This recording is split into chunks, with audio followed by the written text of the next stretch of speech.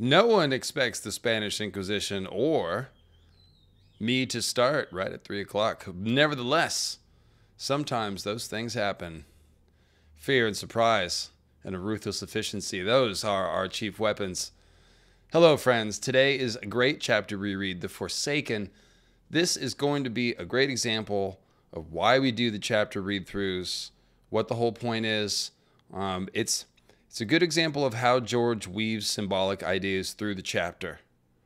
So the whole point of this, it's kind of like one of those pictures where it's got a bunch of squiggly lines and you cross your eyes and the image pops out.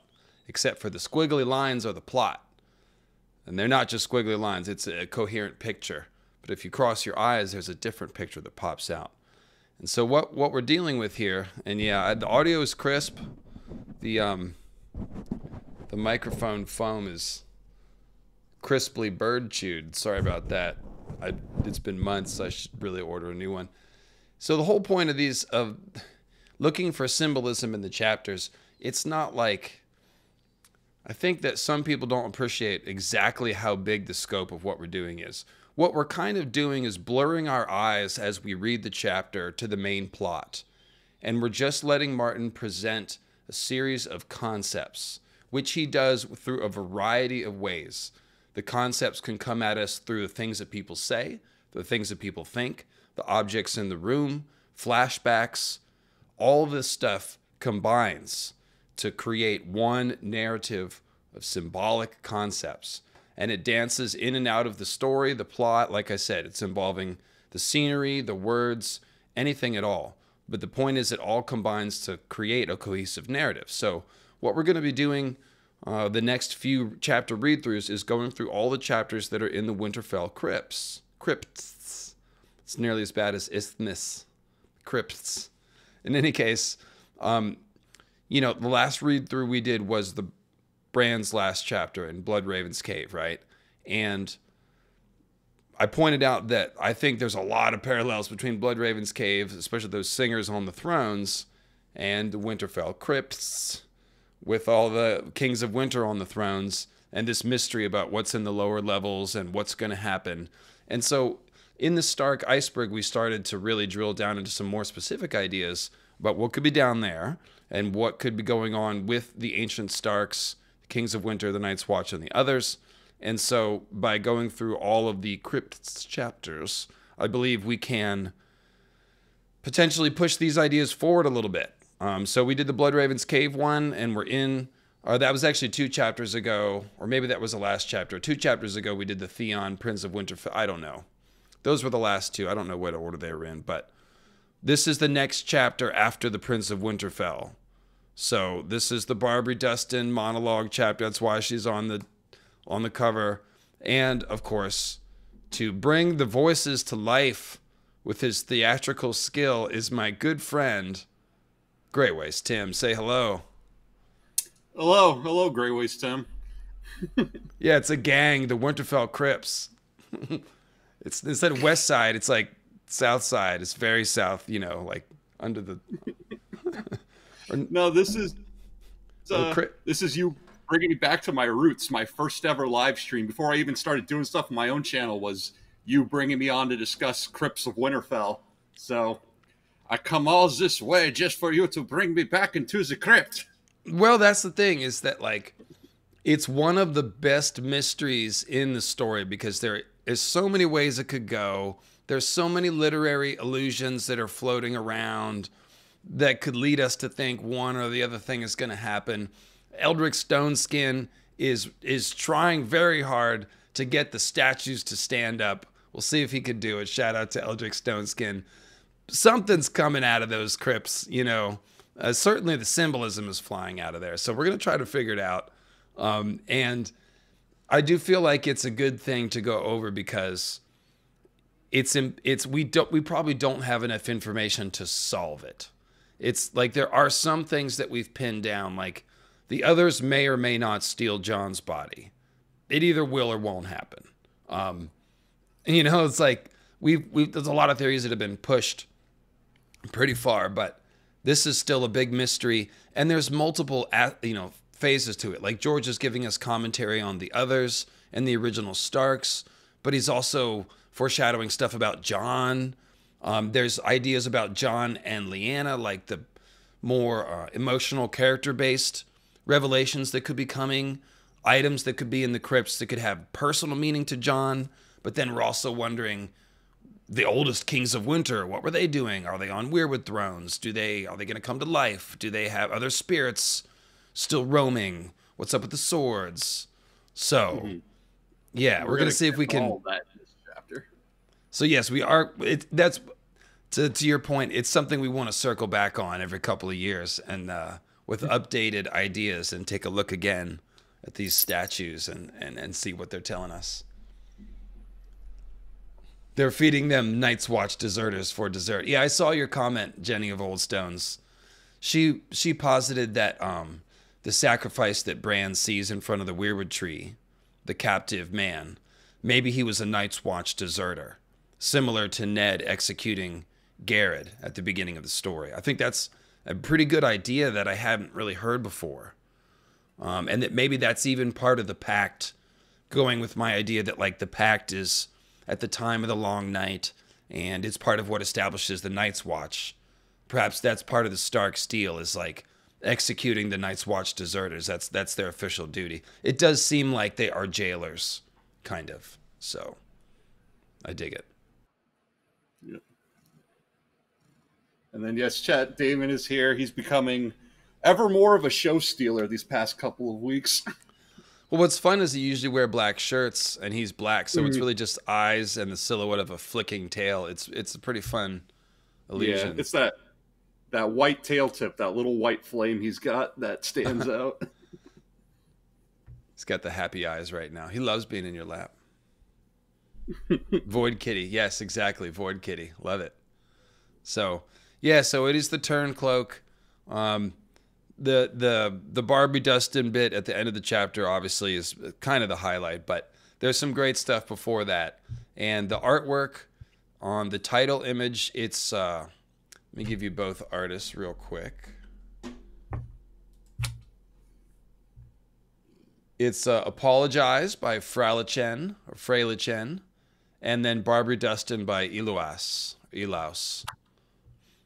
So I particularly love the Lady Dustin portrait. It's so like noir, you know. It's, it's great. It captures the personality. and then, uh, as always, please make sure you're subscribed to Grey Waste Tim's channel if you're not already. I assume you're subscribed to my channel. If you're watching the stream, go ahead and click like. Assume it's going to be good and that you will like it. Give me that benefit of the doubt.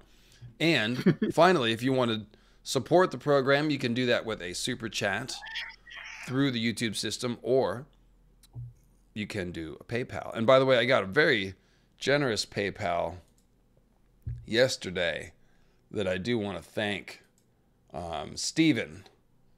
Just crushing through my content, sent me a big thank you, and I would like to send a thank you right back to you, Stephen. That's much appreciated. So, with that said, let us get started. Mm-hmm. The first Hello. flakes came drifting down as the sun was setting in the west. By nightfall, snow was coming down so heavily that the moon rose behind a white curtain, unseen. Already, this reminds us of the Blood Raven, the Bran chapter that we just read. The first chapter was about the red sun uh, rising, setting, and rising again. And there's the snow, and the moon is like a sickle. So it's like basically the same tableau opening here with the sun setting, nightfall coming down, and the moon rising behind a white curtain. Uh, we saw the moon behind the veil uh, in the wedding in the Godswood as well, with like an eye peering through a veil. So it could be like the veil of tears, Bran watching from behind, you know, the veil of tears, meaning he's on the on the death side, or even uh, with the the bridal maidens being analogized analogized to the moon, with the moon wearing a bridal veil, just like Jeyne Poole down in the Godswood with the veil. So yeah, the the Bran and Theon chapters are very copacetic. They they weave into one another very nicely with the imagery and the themes that they're talking about, and that's why it's really good to go and kind of like jump back and forth between Theon to Bran, back to Bran, back to Theon, that type of deal because of the imagery they're presenting us and how well they mesh. Yeah, absolutely. Because it, it's um it, it's it's a good example of George's parallel storytelling because both Theon and Bran's stories are tied to Winterfell. Many of their chapters takes place at Winterfell, and of course Theon and Bran have this early interaction where Theon's move to retake Winterfell is what sends Bran out of Winterfell on his plot journey. Um, and then Bran ends up in the cave, which is parallel to Winterfell. So there's just a lot of, yeah, like you said, a lot of common themes and ideas that are being developed through those chapters.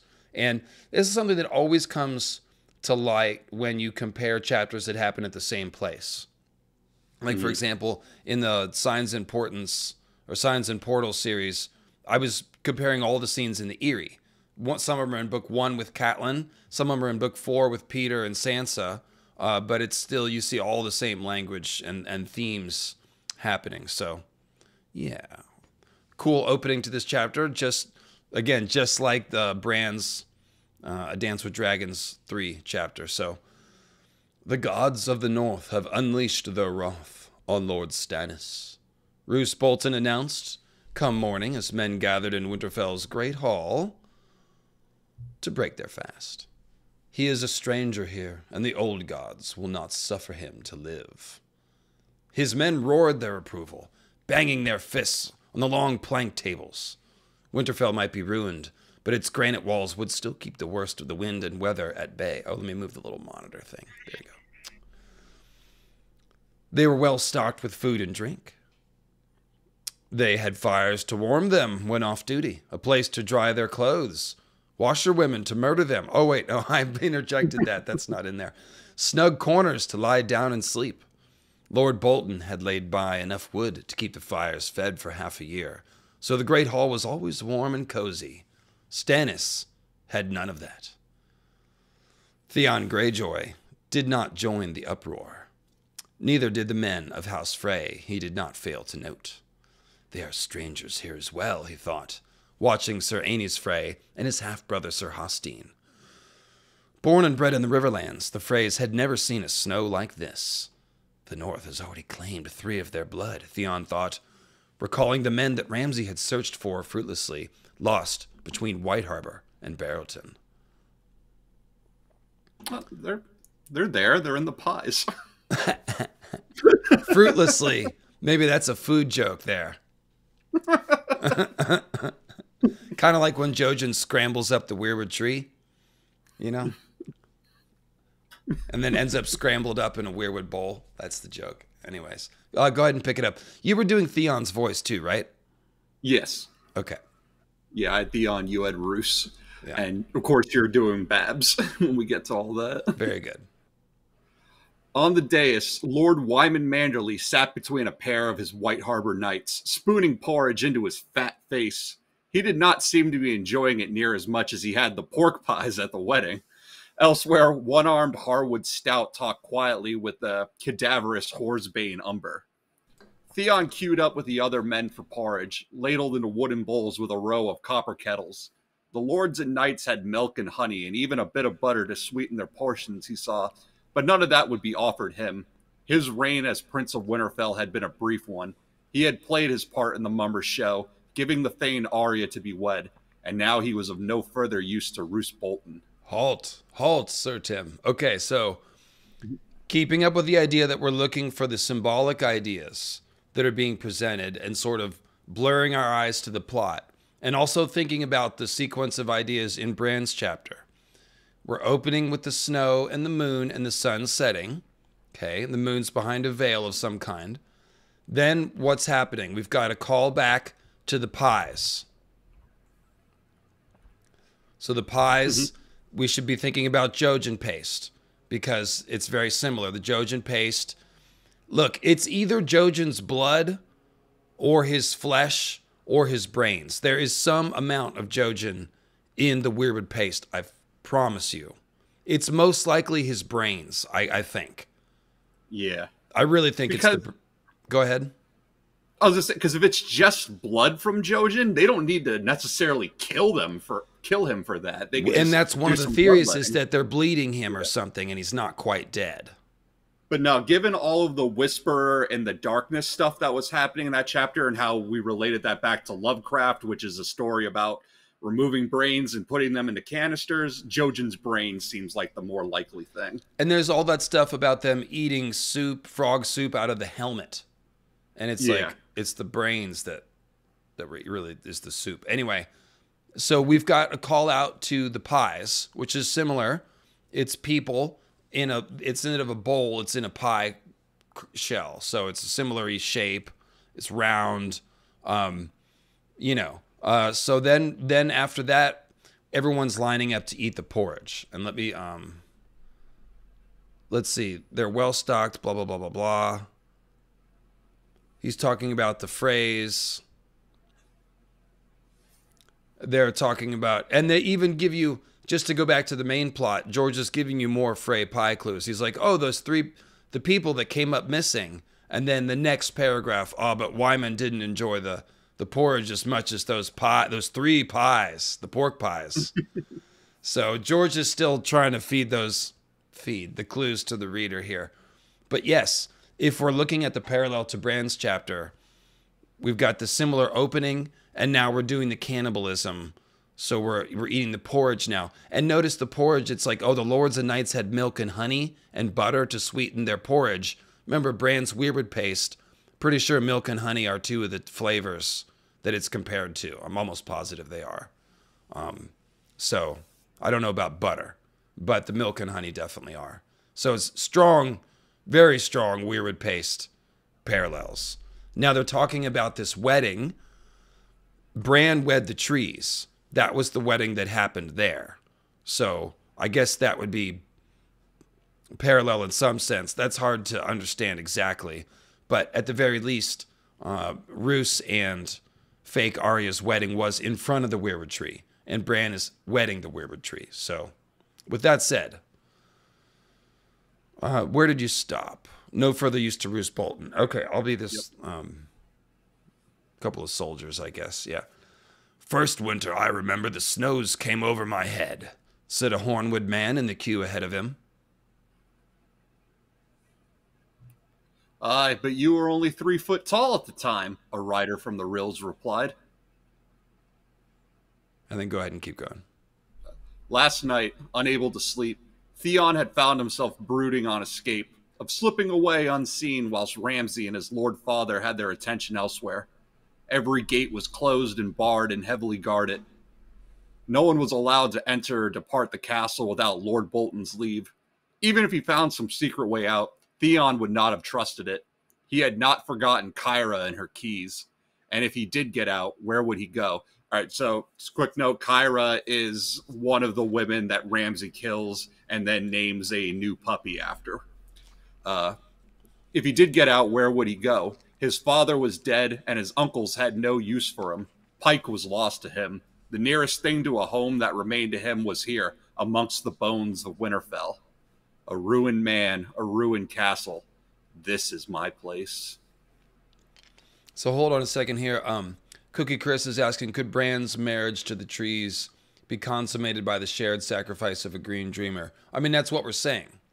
I don't know if what you mean by shared sacrifice, but yes, that's the point. Is that the Jojen paste is what helps facilitate wetting the trees or something like that. So that process is even more gruesome than we realize. In fact, we should probably try to construct a, a more solid theory out of why that is and how that works. I always just have fun with the Jojen paste, but like, what's the point of it, you know? Yeah. Well, correct me if I'm wrong, but since they're the one that said shared sacrifice, but do you mean as in shared sacrifice, as in Jojen presenting himself as a sacrifice and Bran accepting it by eating? I, would that be the oh, shared... as in Bran and the tree ate Jojen together? Ah, okay, I see what you mean. Symbolically, that's certainly the case. Um, so did well, but did um did Jeyne and Ramsay eat anything together? I don't know if that was part of the ceremony. I don't think so. it didn't specifically mention them eating or drinking anything during the ceremony. In fact, Theon was Theon made it a point of saying weddings are quick in the north, like they kind of skip all the spectacle and pageantry of it. So let me let me posit a theory here, a developing theory that we'll we'll test as this chapter unfolds. I believe that the parallel will be intended in so in Bloodraven's cave, we're seeing one green seer wed the trees. I believe what we're going to be shown here in Winterfell is more like multiple people doing the same ritual. So, for example, because we're talking about the kings of winter, many statues of people in thrones. Bran is one green seer in a throne, but then there's those other singers that have already done this before. So Bran is just an example of a greater phenomenon, essentially. And I think that is the parallel. So, for example, it says, let's see, as his bowl was being filled, the others knew it was safe to laugh as well because Ramsay laughed. So the others are here and they're laughing. Remember, their voices are mocking. So that that tracks. The others in the prologue, they do laugh and mock. And then it says a second later,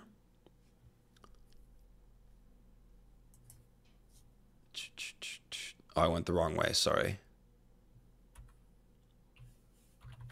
There was something about the other men waiting in line. I'm trying to find.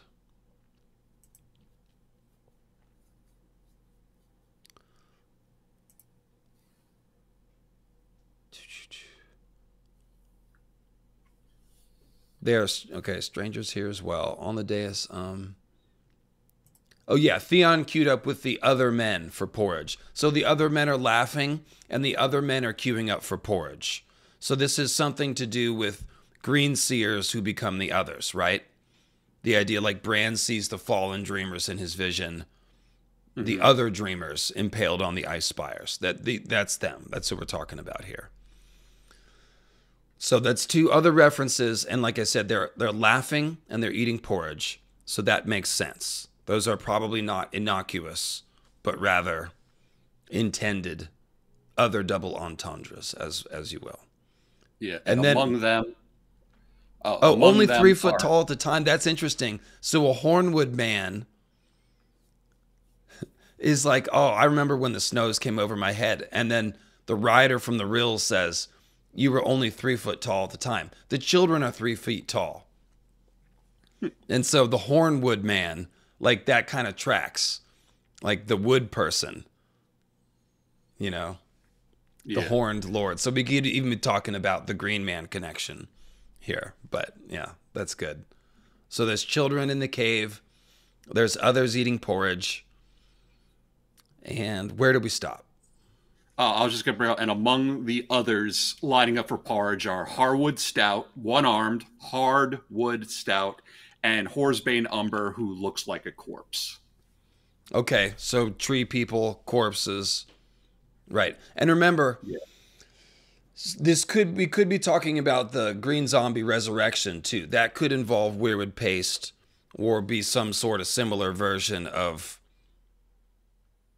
You know, it's yeah. it's going to be a Weirwood ritual involving blood magic, right? And we've I mean, seen that.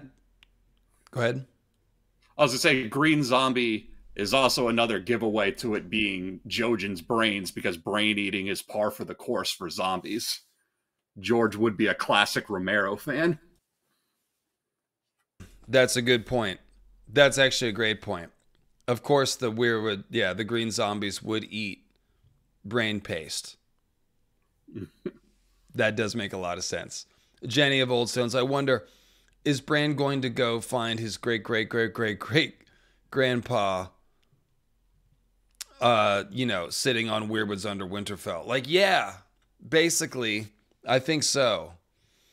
I think so. But they'll be, I believe the oldest ones will be essentially like bones and petrified Weirwood roots. So it'll all be kind of stone. But I believe this, there might be some spirit left, would be the point. And that would be the whole point of letting yourself turn into a Grey King. You know, for Bloodraven to finish the process petrify, turn into a real statue, is that his spirit would be able to linger long indeed by doing that. So, That, I think, is the truth of the Kings of Winter. But we will see. I'm open to different ideas. I'm not like fixated on that idea yet by any means. So, yes, a ruined man, a ruined castle. This is my place, Theon thinks. Um, uh, let's see. He was still waiting for his porridge when Ramsay swept into the hall with his bastard's boys shouting for music. Abel rubbed the sleep from his eyes, took up his lute, and launched into The Dornishman's Wife, Mance Rayder's famous song, or favorite song, whilst one of his washerwomen beat time on her drum. The singer changed the words, though. Instead of tasting a Dornishman's wife, he sang of tasting a Northman's daughter. Oh, that's cheeky. That's cheeky, Mance. Go ahead, pick it up. He could lose his tongue for that, Theon thought as his bowl was being filled. He is only a singer. Lord Ramsay could flay the skin off both his hands, and no one would say a word. But Lord Bolton smiled at the lyric, and Ramsay laughed aloud. Then others knew it was safe to laugh as well. Yellow Dick found the song so funny that wine snorted out his nose. Lady Arya was not there to share the merriment. She had not been seen outside her chamber since her wedding night. Sour Alyn had been saying that Ramsay kept his bride naked and chained to a bedpost, but Theon knew that was only talk. There were no chains, at least none that men could see, just a pair of guards outside the bedchamber to keep the girl from wandering, and she is only naked when she bathes. Okay, so hang on a second. Let's we're again going to keep our policy up of of potentially skipping over certain parts. Let me see. Um, no, this is not too terrible. I'll read it. That she did most every night, though. Lord Ramsay wanted his wife clean. She has no handmaids, poor thing. Oh, sorry. Go ahead. You do the lines. I'll oh yeah, yeah. I did. I did Ramsay. Okay. Ah, where where was that silent killer? Okay. She has no handmaids, poor thing. He had said to Theon. That leaves you, Reek. Should I put you in a dress? He laughed. Perhaps if you beg it of me. Just now, it will suffice for you to her to be her bath maid. I won't have her smelling like you. So whenever Ramsay had an itch to bed his wife, it fell to Theon to borrow some serving women from Lady Walda or Lady Dustin and fetch hot water from the kitchens. Though Arya never spoke to any of them, they could not fail to see her bruises. It's her own fault. She has not pleased him. Just be Arya, he told the girl once as he helped her into the water. Lord Ramsay does not want to hurt you. He only hurts us when when we forget.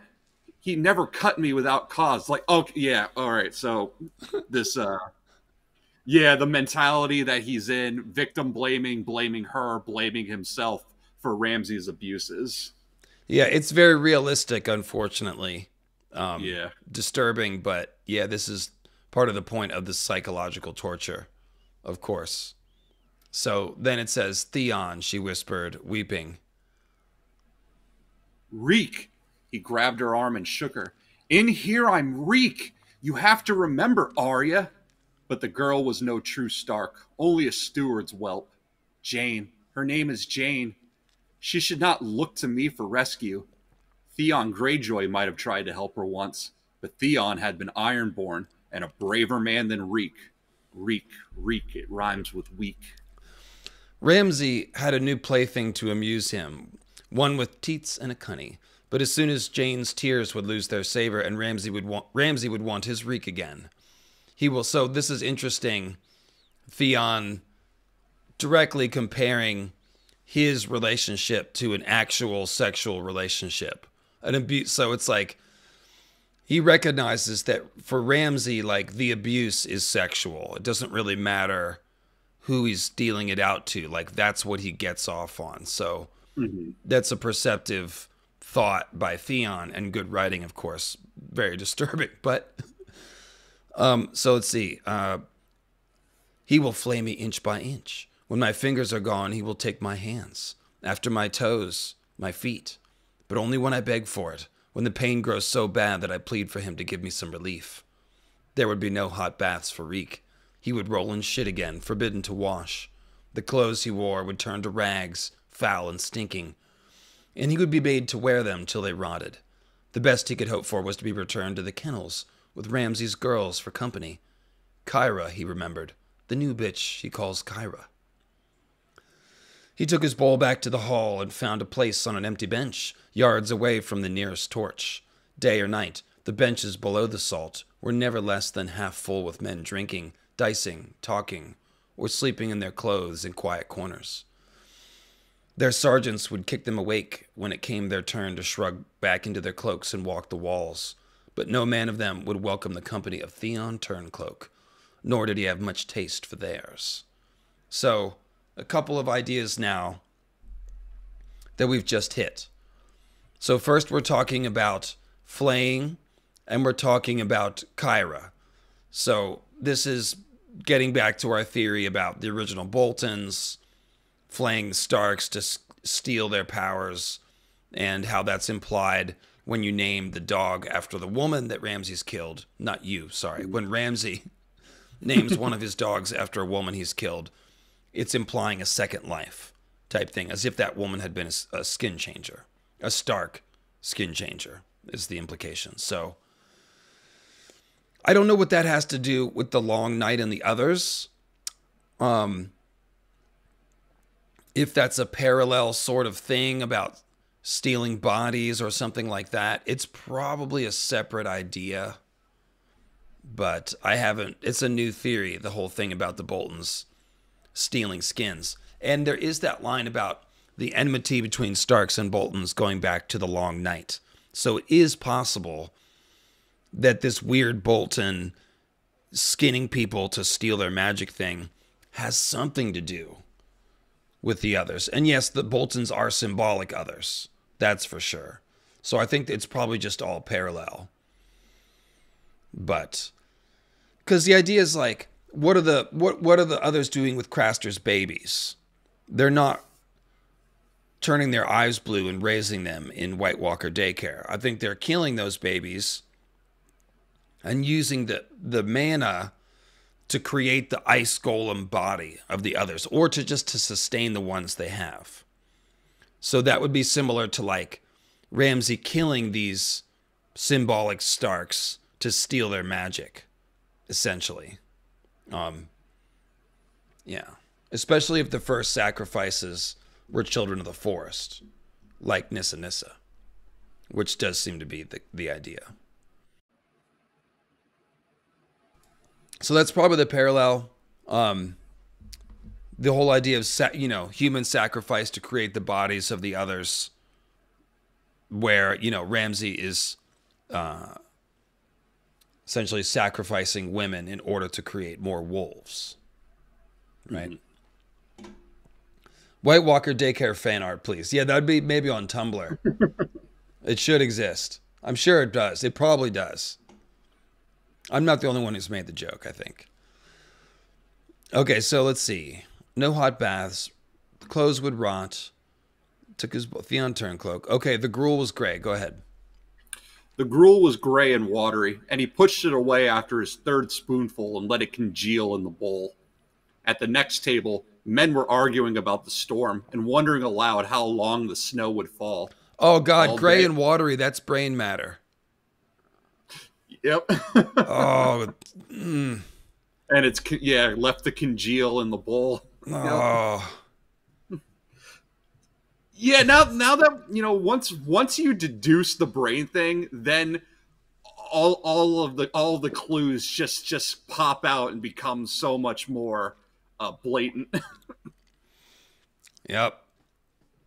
Yep. Yeah. There's not much to say. Grown.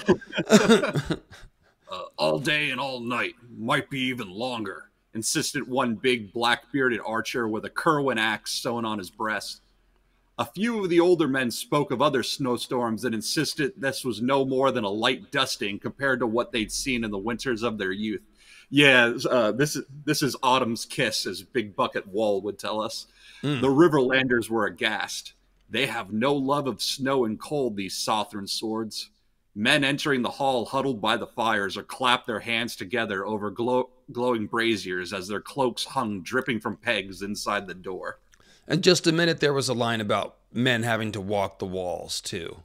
Um, so we could be definitely we should be thinking about a place where there's Night's Watchmen and others, potentially the Night Fort is where this original other creation probably happened. I mean, I think the Night Fort is the place. So, yeah, we we the kit. There's a, probably another also a reason why George decided to make it the kitchens. That's still there, where they there's the well and the weirwood and stuff. Like there's mm-hmm. eight hearths, you know, the kitchens, and this is where the rat cook cooked people which is the inspiration for the Frey pies. So, strong implications of cannibalism at the Night Fort, where the others are created. Yes, yes, indeed. Yeah. Yeah, so we take that and then we top it with what's going on in Stannis's camp, where he is having to execute his own men because they are performing. Some of whom are found to be eating from the corpses. Uh, yeah, so it seems likely that these these very harsh winters naturally event inevitably lead to cannibalism. Yum. um, let's see here. Uh, the air was thick and smoky, and a crust had formed atop his porridge when a woman's voice behind him said, Theon Greyjoy. My name is Reek, he almost said. What do you want? She sat down next to him, straddling the bench, and pushed a wild mop of red brown hair out of her eyes. Why do you eat alone, my lord? Come, rise, join the dance. He went back to his porridge. I don't dance. I shall never dance, star child. Sorry.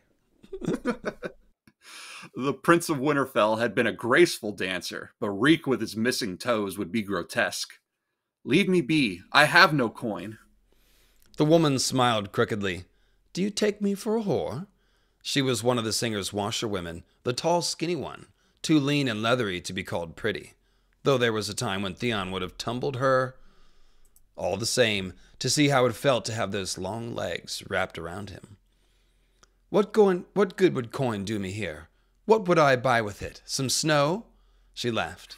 You could pay me with a smile. I've never seen you smile, not even during your sister's wedding feast. Lady Arya is not my sister. I do not smile either, he might have told her. Ramsay hated my smiles, so he took a hammer to my teeth. I can hardly eat. She never was my sister. A pretty maid, though. Uh, this is Jeyne Poole. Okay. I was never beautiful like Sansa, but they all said I was pretty. Jeyne's words seemed to echo in his head. To the beat of the drums, two of Abel's other girls were pounding. Okay, so what's going on here? So, Jeyne Poole is Night's Queen. We saw that very clearly. Her symbolism, her corpse, like she's frozen, all that stuff. Um, so the her words are echoing to the beat of drums played by Abel's other girls. So that's interesting. We should be the other girls. We should be thinking about children of the forest that are allied with the others, or other women like Night's Queen, perhaps something like that. And that is it kind of makes sense. Or it could just be like the other weirwood trees, I guess. But let's see here. Another one had pulled little Walder Frey up onto the table to teach him how to dance. All the men were laughing. Leave me be, said Theon. Am I not to my lord's taste? I could send Myrtle to you if you want, or Holly. Might be you'd like her better. All the men like Holly. They're not my sisters neither, but they're sweet. The woman leaned close. Her breath smelled of wine. If you have no smile for me, tell me how you captured Winterfell. Abel will put it into a song, and you will live forever. Ah, that's interesting. So, Theon who, as we know, is going to be turned into an instrument of the old gods. He's looking like a gray king himself, with his gray flesh and white hair and stuff. Uh, looks like an old man. He could live forever if he's turned into a song. So this is more Green Seer talk, certainly. Uh, real quick, thanks to Balance Beans Bookkeeping for PayPal and Maester of Tin Foil. While, while Theon eats curds and whey. Where's the spider, though? Maester of Tinfoil. Uh, which kingdom would you hide in during the long night? Doesn't matter what kingdom. The point is in a weirwood cave with magical wards. That's where you hide. Uh, I was going to say the spider it's it's either down in King's Landing because it's Varys, or it's an ice spider, and they're if they're actual ice spiders, they're beyond the wall. So let's see here, uh, and you will live forever. As a betrayer, as Theon Turncloak. Why not Theon the Clever? It was a daring feat, the way we heard it. How many men did you have? A hundred? Fifty? fewer. It was madness. Glorious madness. Stannis has 5,000, they say, but Abel claims 10 times as many still could not breach these walls. So how did you get in, my lord? Did you have some secret way? I had ropes, Theon thought. I had grapnels. I had darkness on my side and surprise. The castle was but lightly held, and I took them unawares. But he said none of that. If Abel made a song about him, like as not, Ramsay would prick his eardrums to make certain that he never heard it. He's constantly thinking about what Ramsay would do to him and stuff. Um, interesting. So Theon the Clever, Lann the Clever, obviously snuck into Casterly Rock and winkled it from the Casterlys. So that's the mm-hmm. parallel that she's making. Theon the Clever winkled Winterfell from the Starks. Okay. Um, now, yeah, it, and and then just a exactly a gray man living forever. Green Seeress points out, and that's what we're talking about. That's that's why I'm saying the Gray King is basically a clue about what happens when the Bloodraven process finishes.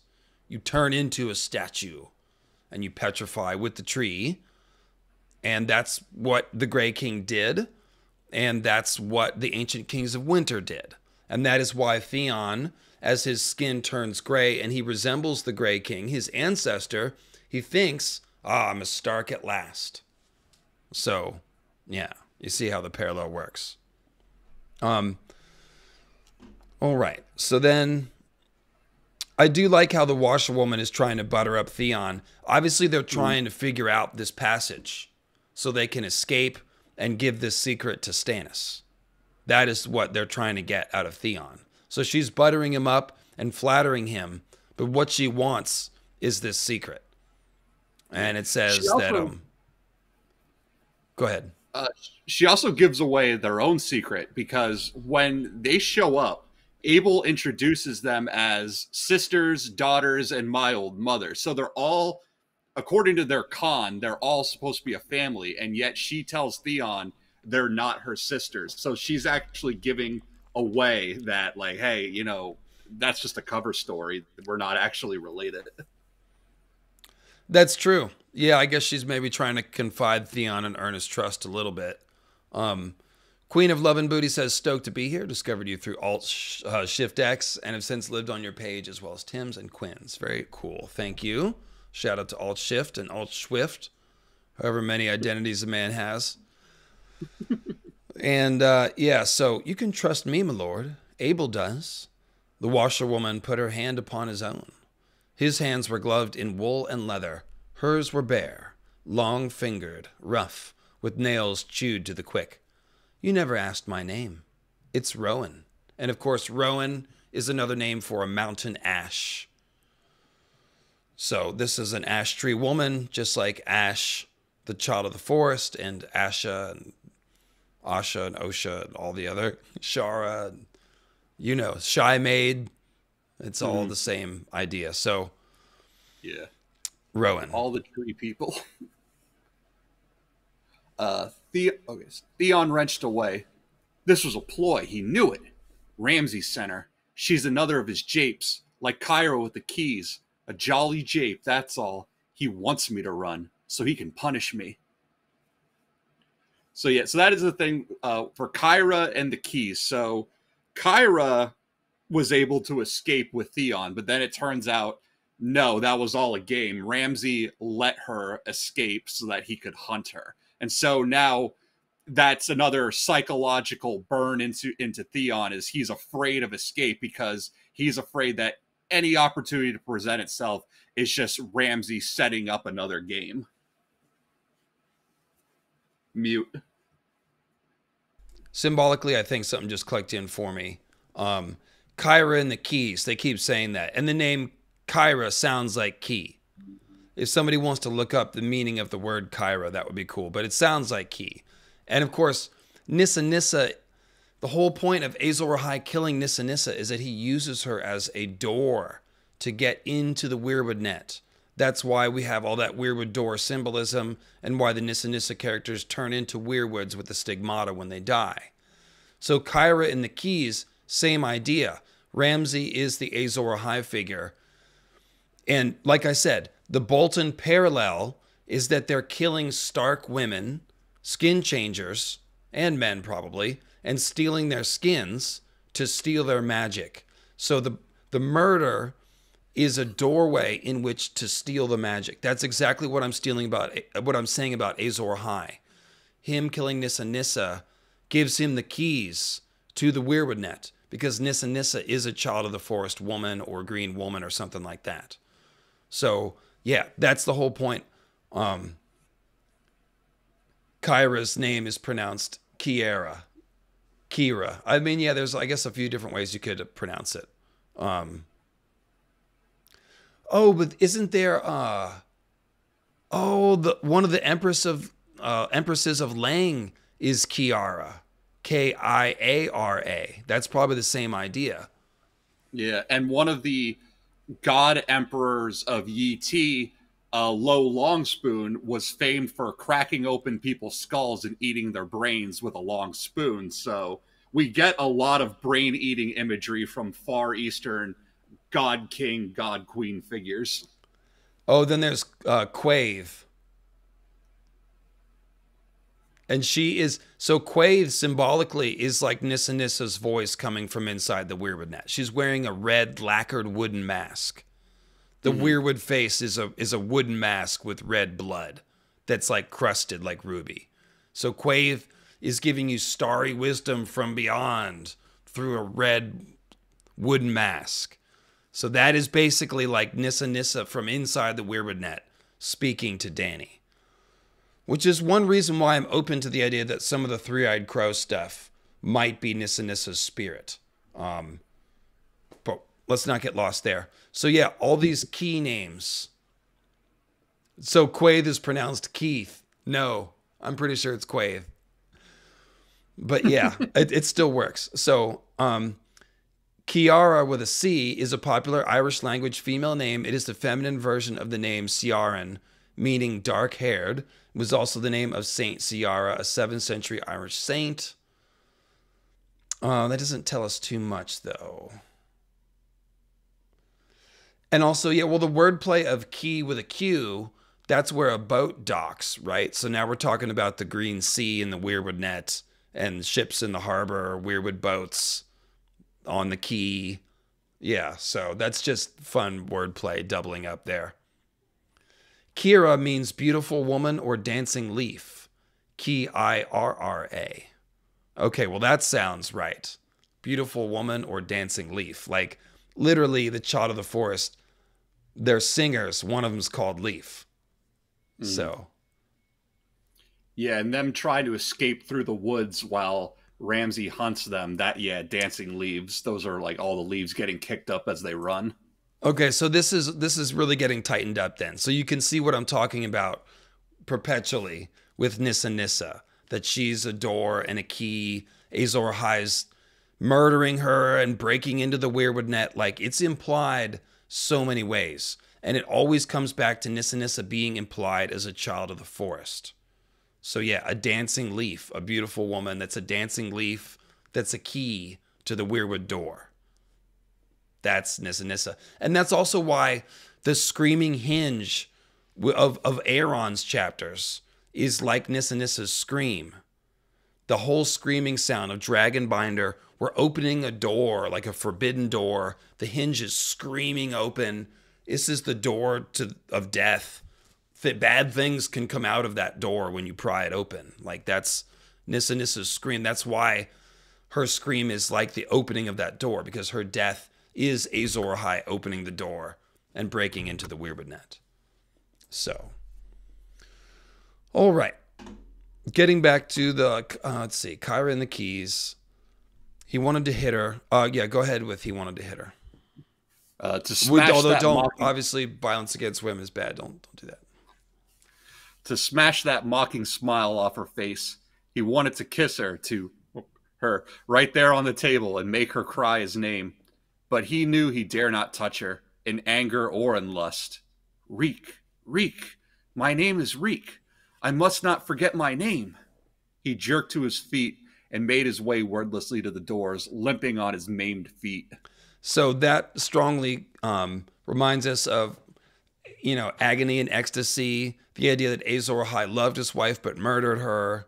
Um, so you see this weird conflict of love and hate thrown together, and that's just what we see with Theon, and that's what he's feeling towards another one of these symbolic Nissa Nissa key women.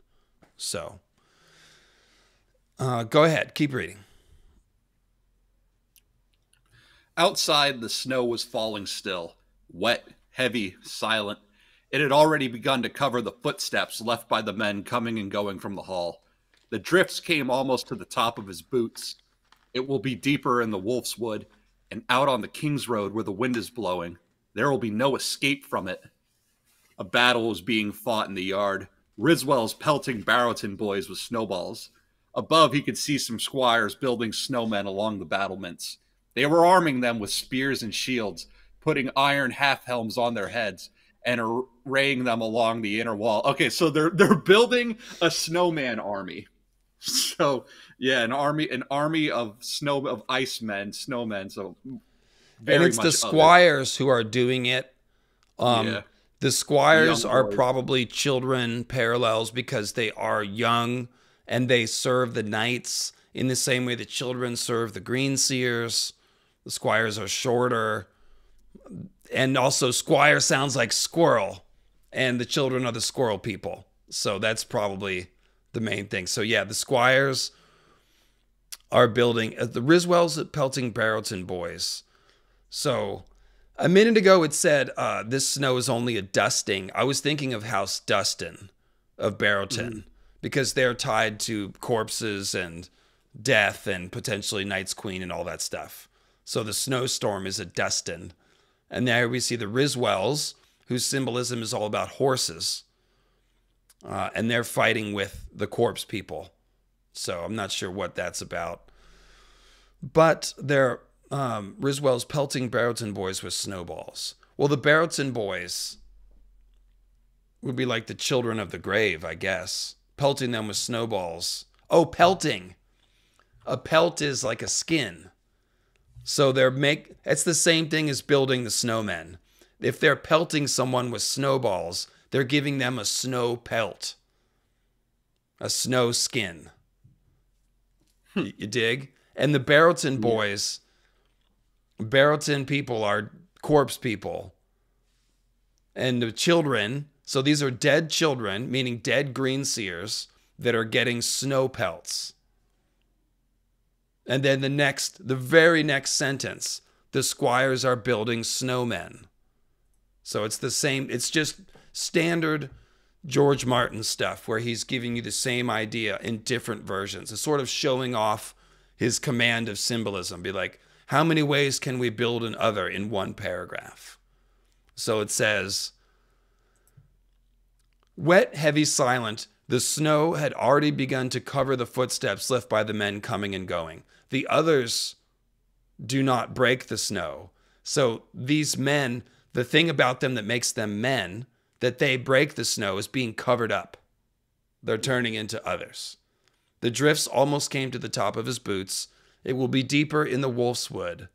Um, let's see. And then, of course, wolf's wood, that's getting at the idea of the others as wolves that come from the wood. And the snows are piling up there. But yeah, the main thing is pelting the Barrowton boys with snowballs, squires building snowmen. They were arming them with spears and shields arraying them along the inner wall, a rank of snowy sentinels. And of course, as we said, sentinel trees are, are a major vehicle that George uses for other creation because they're trees that are named after soldiers. So anytime you have a sentinel tree that gets covered in snow, that's an other. And so, yes, we, a rank of snowy sentinels. You also think of the 79 sentinels who were planted in the ice like trees and then frozen. So, yeah. So, also, I looked up. So, rills means stream. And you said that line about building and other. What things that would be necessary? Well, you got corpse boys and ice. So, frozen water, corpses and frozen water. And these are the, they're the Lord of the waters. So, yeah, building and other. Yeah, and the river stream symbolism is important because that's like the river of time. The wall is like a river. Uh, their voices are like the cracking of ice on the lake. So it's all this cold version of the green sea idea. Whenever you see this cold river, cold stream, frozen pond, etc. So yeah. And then it says Lord Winter has joined us with his levies. One of the sentries outside the great hall japed until he saw Theon's face and realized who he was talking to. Then he turned his head and spat. So George is constantly distracting us from the symbolism with the main plot. That's almost how I think about it. Because he's doing throwing this like, oh yeah, that's right. Theon's hated. They have to spit when they see him. But yes, it's Lord Winter with his levies. And that's the thing, is like the Starks are called the King of Winter. So what's the difference between Lord Winter and King of Winter? or Lord Snow. Like Lord Snow, Lord Winter, King of Winter. These are all the same name. Yeah. Basically, I mean, because when they were kings, of, they were kings of winter until the time of Aegon the Conqueror. Then they, uh, Torrhen Stark kneels, but he rises again as a lord. So he is he is taking like a lesser seat by giving up the title of king in exchange for the lesser title of lord, but the idea is still basically the same.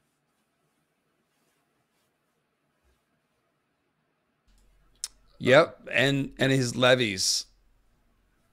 Uh, resist the urge to start singing Led Zeppelin. Um, but yes, we've got we've got these uh, snowy sentinels they're very like the 79 Sentinels, who are also up on the wall. You know what I mean? So I just remind you again Night King, Night's King, rather, who in my head canon, which is some of yours head canon, he and Night's Queen are the progenitors of the others. And it says that Night's King bound his brothers to him with strange sorceries. That is part of the same idea. So there is some aspect in which he is binding his brothers of the watch that he led to make the others. How does that make sense? Well, the original watch were green men. They were sa- they were sacrificed. They were killed along with Nissa Nissa, and the others are essentially created with the spirits of those green men. And that is shadow binding because we're binding spirits to new bodies and stuff. That's all shadow binding. So Night's King binding his brothers with strange sorceries, that's also a part of the creation of the others. So here we see basically that idea like these snowy sentinels, they're former trees, they're former children, they're dead children, they're dead green men, all that kind of stuff. And that is why we see like the 79 sentinels who symbolize others atop the wall at the night fort. Okay because like the night's watch and the others they have a, they have a shared origin. And so we're going to be talking about both of those things.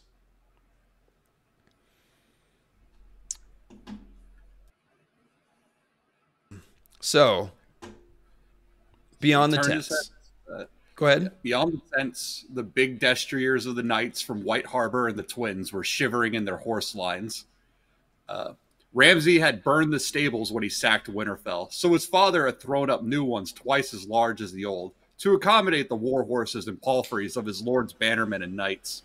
The rest of the horses were tethered in the wards. Hooded grooms moved amongst them, covering them with blankets to keep them warm. Theon made his way deeper into the ruined parts of the castle, As he picked through the shattered stone that had once been Maester Luwin's turret, ravens looked down from the gash in the wall above, muttering to one another. From time to time, one would let out a raucous scream. He stood in the doorway of a bedchamber that had once been his own, ankle deep in snow that had blown in through a shattered window, visited the ruins of Mikken's forge and Lady Catelyn's sept. Beneath the burned tower, he passed Rickard Ryswell nuzzling at the neck of another one of Abel's washerwomen, the plump one with the apple cheeks and pug nose. The girl was barefoot in the snow, bundled up in a fur cloak. He thought she might be naked underneath. When she saw him, she said something to Ryswell that made him laugh aloud. Theon, Theon trudged away from the. I'll go ahead. There was a mm-hmm. stair beyond the mews, seldom used. It was there his feet took him. The steps were steep and treacherous. He climbed carefully and found himself alone on the battlements of the inner wall, well away from the squires and their snowmen. Uh, I'm wondering if there's a difference between the two walls here. It's interesting there's two walls. Remember, Edric Snowbeard built the outer wall of Winterfell, the bigger one, which I take to mean, or is it the. I don't remember which one's bigger. He built the outer wall, though, and I took that to be a clue about a Stark who is an ice magician, Edric Snowbeard, having built the wall. Um, uh, so here we've got, you know, we're talking about um, the other wall has the snowy sentinels, and here he's near the inner wall. He's away from the squires and their snowmen. It's being called out that he's away from them. So maybe this wall will be more aligned with the Night's Watch or something. Let's see, though. No one had given him freedom of the castle, but no one had denied it to him either. He could go where he would within the walls. Winterfell's inner wall, here we go, was the older and taller of the two. There's your answer. Its ancient gray crenellations rising 100 feet high, with square towers at every corner. The outer wall, raised many centuries later, was 20 feet lower, but thicker and in better repair, boasting octagonal towers in place of square ones. Between the two walls was the moat, deep and wide, and frozen. Drifts of snow had begun to creep across its icy surface. Snow was building up along the battlements, too, filling the gaps between the merlons and putting pale, soft caps on every tower top. Beyond the walls, as far as he could see, the world was turning white. The woods, the fields, the King's Road, the snows were covering all of them beneath a pale, soft mantle, bearing the remnants of the winter town, hiding the blackened walls Ramsay's men had left behind when they put the houses to the torch. The wounds snow made, snow conceals, but that was wrong. Ramsay was a Bolton now, not a Snow, never a Snow. Okay. Hmm. So, a couple things here. One, George really is captured by the magic of winter and loves describing snow. That is obvious. Secondly, it's an interesting sort of psychotic narrative going on inside of Theon's head at the end there, where he's like making little jokes to himself. Ah, the wounds snow made, snow conceals, but that's wrong because Ramsay's not a snow, he's a Bolton. Like, okay, Theon. but yeah, the frozen moat, that's more frozen pond stuff. The others come out of the frozen pond. Jane Jeyne Poole's symbol is basically a frozen pond. It's in between the two walls. That's interesting. Um, the inner wall is taller and older.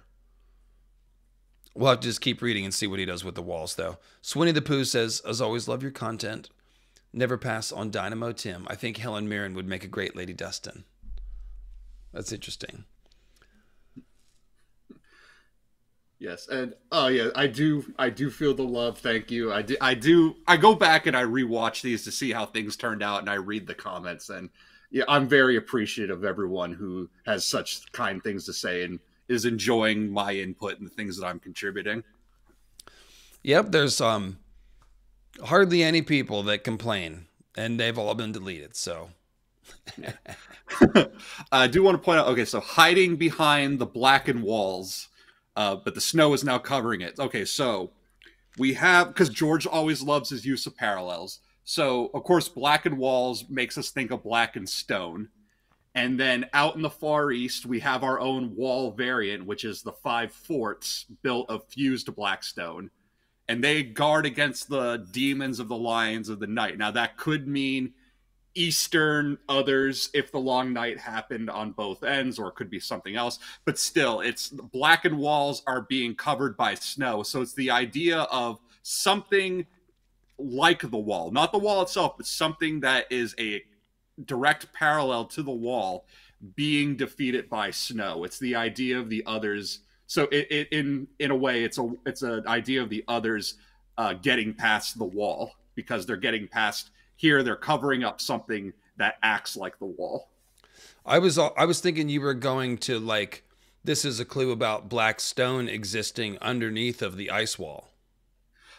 That also well, that's that's another one. But, right? Like yeah. if the blackened walls, like that's the original black stone wall that we think the great empire of the dawn might have laid down yeah, yeah. To the begin wall, the construction of the the wall that we have now.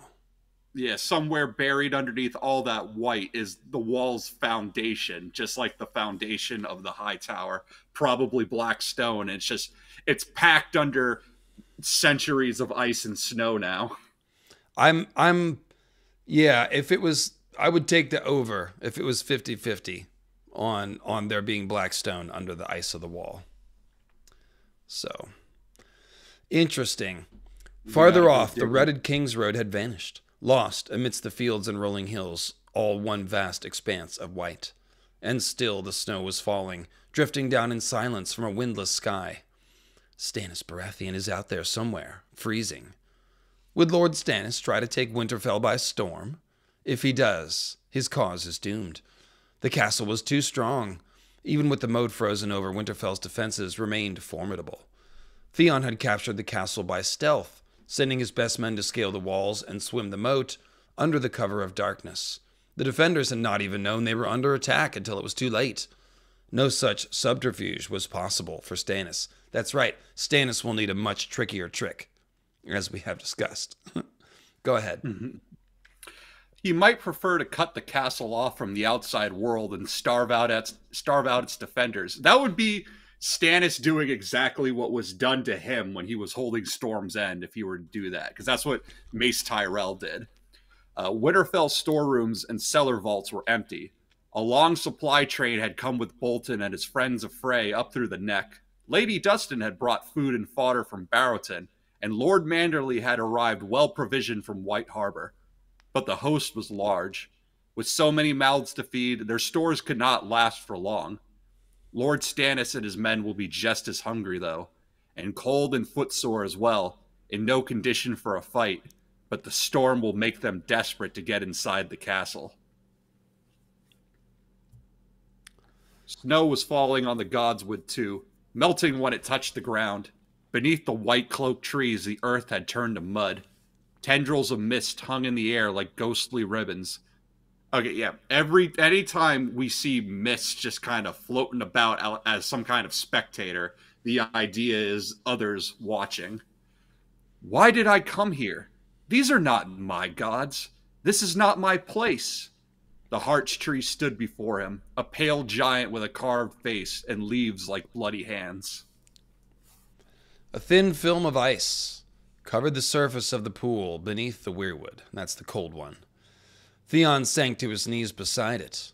Please, he murmured through his broken teeth. I never meant. Oh, that's you. Sorry. Go ahead. The words caught in his throat. Save me, he finally managed. Give me. What? Strength? Courage? Mercy? Snow fell around him, pale and silent, keeping its own counsel. The only sound was a faint, soft sobbing. Jeyne, he thought. It is her, sobbing in her bridal bed. Who else could it be? Gods do not weep, or do they? Okay, um, just got to lay this out here. So, because I've got an idea of what George is doing here with Theon and the old placing him in the old in the realm of old gods, especially weirwood trees, when he himself is Ironborn and his god should be the drowned god. And this is so so here here's here's like the, the Lovecraft dump, I guess, where we're going. Go um, for it. So, I'm just gonna work on my shoulder here a little bit. I've got some some pains going on. Been working on a new video real hard. By the way, the next video not going to be Ironborn Part One. I've got a total surprise coming for you next Tuesday or Thursday. Not even going to tell you what it is. Go ahead, Tim. Right. So, uh, so, so, Theon's god, the Drowned God, is obvi- our obvious Cthulhu parallel. That's pretty cut and dry at this point. Um, and I've talked a lot about the Star Spawn, which are Cthulhu's children, how he has three sons and a daughter that line up perfectly with Balon Greyjoy having three sons and a daughter. And his youngest son is imprisoned, just as Theon is imprisoned. But there are servants of Cthulhu called the Yuggs, and there are these giant carnivorous white worms. And they are continuously trying to chew through the locks that imprison this son of Cthulhu and break him free. So that, and that is like the reason why I did the House of the Worm stream that I did, is building up, and why I'm doing a Zothique Legend Cycle is building up to this idea of Theon is a parallel to Zoth-Ommog, the youngest son of Cthulhu, whose ability is to invade people's dreams. So mm. Theon always, along with Bran, again, them meshing together into these dreamlike parallels that always take place in Weirwoods, and Weirwoods constantly being compared to white worms, white serpents, is is another. It's a it's a comparison. It's paralleling Theon and Zoth-Ommog, uh, someone who is in uh, uh, a son of the drowned god, a son of Cthulhu, who is imprisoned, but the white worms are trying to bust him out. So here he is in the weir in in this grove of weirwoods, asking the old gods for to save him. Well, mm. in Lovecraft, that's exactly what they're doing. The white worms are trying to save Zoth-Ommog and bust him out. And then what happens?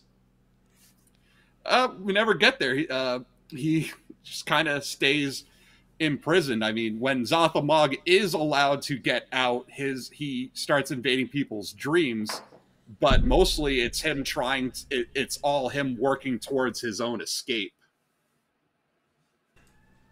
interesting um so theon is theon is now in this weird position of giving stannis kind of advice or information but there's mm-hmm. pressure on him remember of course the crows and asha greyjoy now want theon to be given to the heart tree instead of burned so there's a chance. I do think Theon's probably going to live, but there's a chance he could be sacrificed and his spirit will somehow yeah. still be able to whisper to people or something like that. And that would be. In- yeah. and, and just in the way that the the white worms are constantly trying to bust Zoth out, Theon is continuously moving from prison to prison to prison.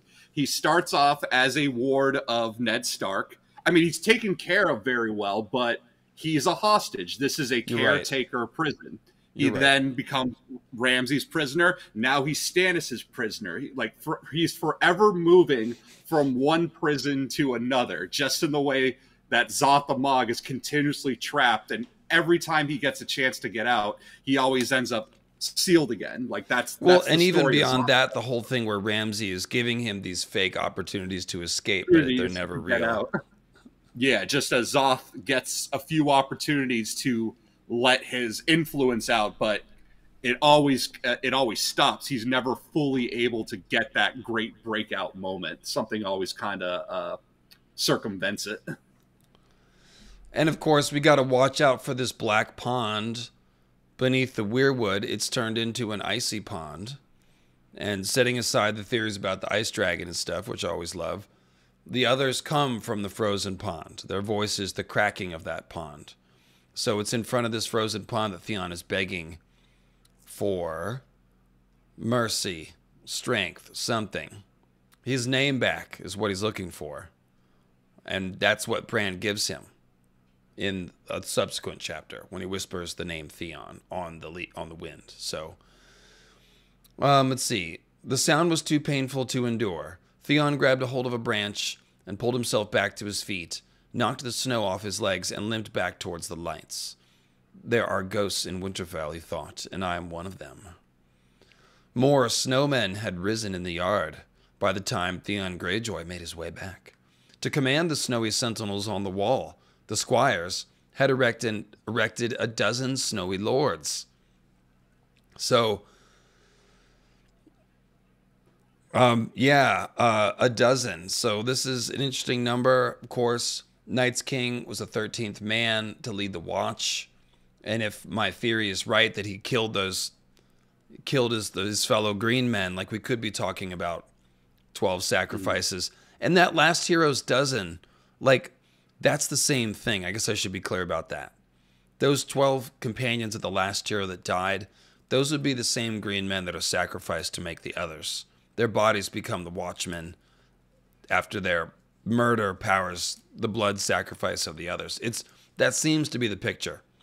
Um, so it's interesting here. We've got a dozen snowy commanders. Like these, this really sound like a snowy lords. Rather, these sound like the dozen green men that Night's King has killed to make the first others.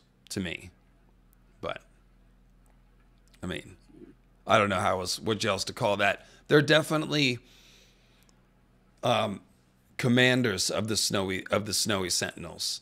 So what is what is that implying? Like, is there is there two levels? To, uh, there was an old theory that there's there's more hierarchy of others than we have seen. That there's like White Walkers and others, and that those are different or something like that. What? Who are these dozen snowy lords? Because the snowmen are already others. They're snowy sentinels. You know, yeah. they're not whites. They sound like others. So who are these commanders? Hmm. Are these the original kings of winter? Yeah, I'm not sure because again, until we get more of the others, we don't know how their society works. If there is uh tiers to that, like the way the show went with Night's King and how some others seem to be acting like generals leading armies of whites. We really we really don't know. It's an unknown unknown at the moment until George gives us more of that. And but I mean in the next paragraph he will talk about like he he names four that these dozen are supposed to be. Um, yeah, go ahead and read that and we'll break it down. Uh, one was plainly meant to be Lord Manderly. It was the fattest snowman that Theon, that Theon had ever seen. the, yeah, hard to believe there's still so much snow when they had to build a, a, a Wyman Manderly snowman. All that snow should have been put to use. Well, that's uh, how much snow there is. He's fat. Uh, the one-armed lord could only be Harwood Stout. The snow lady, Barbrey Dustin and the one closest to the door with the beard made of icicles had to be old Whoresbane Umber. So now these four, I can definitely say are these four lords are ones who are all planning to betray the Boltons at one point. Okay, so why don't we go through that first, and then we'll talk about the symbolism.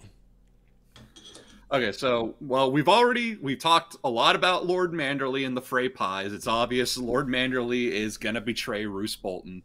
Um, Whoresbane Umber, he begrudgingly uh, gives his support to Lord Bolton, to Roose Bolton, but that is only because the his nephew, the Greatjon, is being held captive by the Freys. Um, Roose Bolton even says as much. It's in that chapter where Roose Bolton is talking with Theon and he tells him about uh, Domeric, and he also reveals to Theon that uh, the Bastards boys, Ramsay Stooges, are actually all informants for him. He says that he suspects Whoresbane Umber is going to betray him, and which he is. Uh, Umber is waiting for the moment when that can happen, and for him, that is going to be when the safety of the Greatjon is secured. Now, for that part, his other his brother, Greatjon's other uncle, Mors Umber, he has pledged support to Stannis. And they make it a point to say that the Greatjon took the majority of the Umber hosts down with him. So all that is left are the very, very old men and the very, very young men, the green boys and the gray beards. Mors Umber is leading the Green Boys. That's that like that march of them playing the horns, and Whoresbane is leading the Gray Beards. So that means Mors Umber is like our Green King figure. He's a green man leading his army of green boys. On Blowing the other side, too. Yeah. On the other side is Whoresbane Umber. So he's our Gray King leading the Gray Beards. But, and they're on opposing sides, but they're both waiting for that moment when Whoresbane can drop the act and come back, and they can come back together and fight on the same side again that that moment is when the safety of the Greatjon is secured. So that's interesting that these are all lords that are going to flip because yep. okay so yeah first of all shout out to minty in the chat. Second of all it's 420 praise garth. And third of all i think that's that is important because we're just talking about who are these lords that are commanding the others? Maybe that's mm-hmm. the night's watch actually. Like they're the ones that are supposed to command the others. Like think about Jon you know um, because these are all people that are like frozen but are turning against the others. And and uh, in the chat uh, uh, Carl Karsnack pointed out Whoresbane we should think of Hoar Frost. so Frostbane as in someone who's against winter he was he was implied as cadaverous earlier and now he has a beard made of ice but a Snowbeard is a Stark name. Edric Snowbeard, he's the one who built the outer wall. He's a very important Stark. So Whoresbane is a corpse like person who is implied as a Stark that fights against the cold. So that makes him yeah. like a green zombie watchman. remember, I said be... the green men. Hold on one second, Tim. So the green men are yeah. killed. That sacrifice creates the others, but the corpses are raised as the watch. So that's kind of like why these are snowy lords. They're kind of look like others, but they're implied as turning against the others, all four of them. And Manderly's the same thing. We broke down Manderly's symbolism before. He's a green man who's turned into an other, but is planning on turning back to the green man's side, essentially. So yeah. I was gonna say he's a corpse-like giant because remember, like I've said numerous times now, the sigils tell a story all their own. The sigil of House Umber is a giant breaking out of chains. And then I also want to give shout out again, as always, Crowfood's Daughter, because like I said, this is a Green King and Gray King figure, and they're brothers. Mors and Whoresbane are brothers, and she has that idea that Garth, that Gray King, is good brother to to uh, Garth, Garth the Green. And a uh, bunch of swamp jokes going around. Just want to say shout out to all the swamp witches, mermaids in the crowd. Those are my people. So, yes, um, that's okay. So that's really interesting here.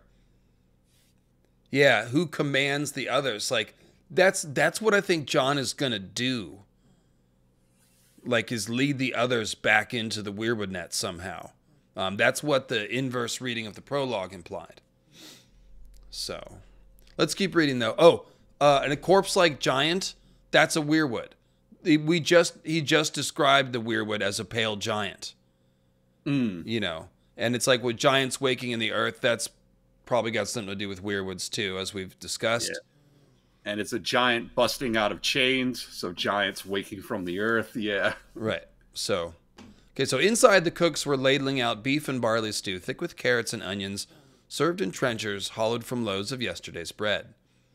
Scraps were thrown onto the floor to be gobbled up by Ramsay's girls and the other dogs. Ah, uh, the other dogs. Right. Because Ramsay's dogs are the ones. They're like the stolen Stark magic. You know, that's what they represent. So they would parallel the others. Yeah, I mean, I, I guess that's what you could say. Like the Stark wolves are like the Watch, and Ramsay's dogs are like the others. So the girls were glad to see him he knew him by his smell. Red Jeyne loped over to lick at his hand, and Helicent slipped under the table and curled up by his feet, gnawing at a bone. These are all Nissa Nissa names, by the way. Red Jeyne. Like, if Jeyne Poole is a Night's Queen, she's Blue Jane. This is Red Jeyne. And the name Jane means something interesting, too. Uh, Karsnark or someone, could you look that up real quick? Um, and then uh, what was the other name? Helicent. That makes you think of hell from Norse mythology, and I'm not sure what Helicent means, but definitely hell is a Nissa Nissa thing. That's like Melisandre is a hell parallel. Gray Jeyne, Helicent, Jez, Allison, Kyra, Maud, Red Jeyne, Sarah, and Willow. Those are the named uh, hounds of Ramsay. Say it again more slowly. Uh, the Bastards Girls. Gray Jeyne, Helicent, Jez, Allison, Kyra or Kira, Maud, Red Jeyne, Sarah, and Will. Oh, Red and Gray. So there's Red Jeyne and Gray Jeyne. So there's that's Weirwood again. Mm-hmm. It's not the red and the white, but the red and gray. So it's kind of close enough.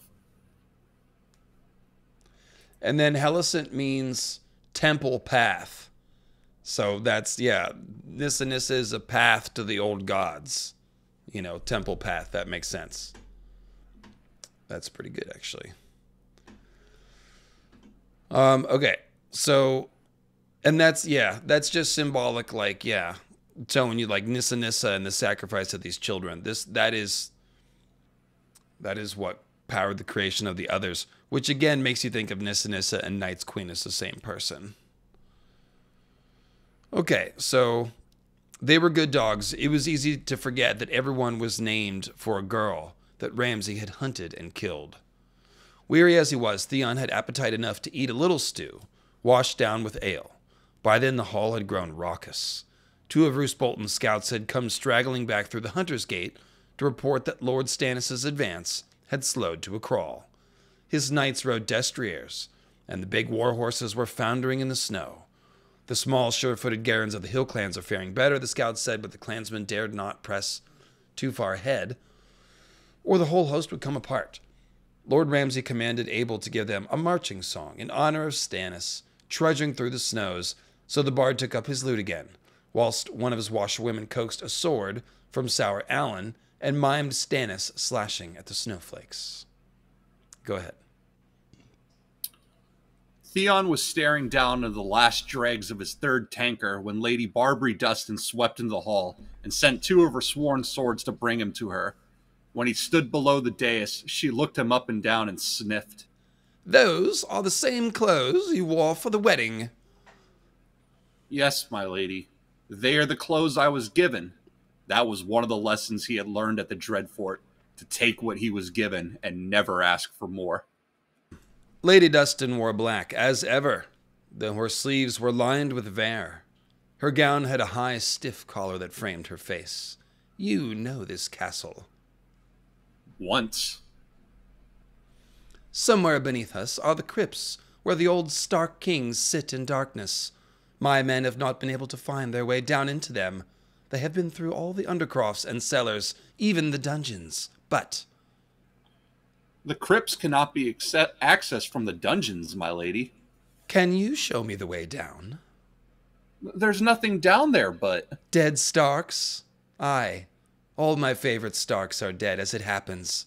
Do you know the way or not? I do. He did not like the crypts had never liked the Crips, but he was no stranger to them. Show me. Sergeant, fetch a lantern. My lady will want a warm cloak, cautioned Theon. We will need to go outside. It's interesting that um basically she's looking for more or less the same thing as the washerwomen are because the secret passage out of Winterfell almost certainly goes through the crypts. And Abel was looking for them too. So, first we have one of the washerwomen trying to get a secret out of Theon by flattering him, which normally works, but Theon's ego's been destroyed. So that doesn't work for him. And here we see the different approach. Barbrey Dustin is just bullying him. She's mm-hmm. just like, do it, show me, take me there. And just because that's what Theon is used to, is being commanded.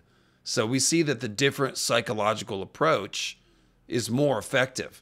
Now, she's more powerful too, but Ramsay, I mean, uh, Theon could have just broken down and been like, "No, I can't. Ramsay will kill me." Oh, and he doesn't. He like snaps and obeys because that's kind of what he's been programmed and molded to by Ramsay.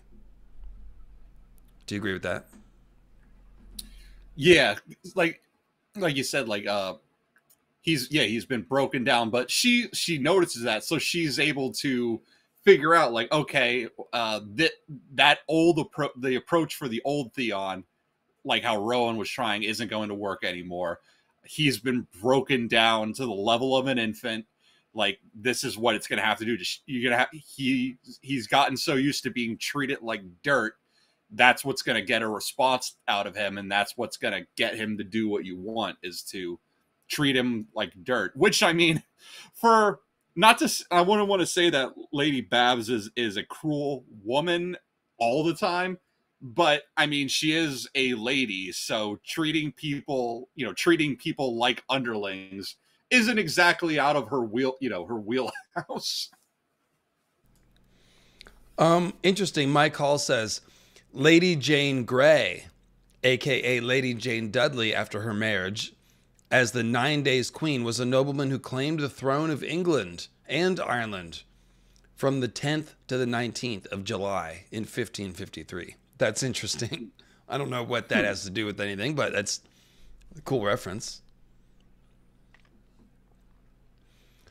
All right, so my lady will want a warm cloak. The snow was coming down heavier than ever when they left the hall, with Lady Dustin wrapped in sable.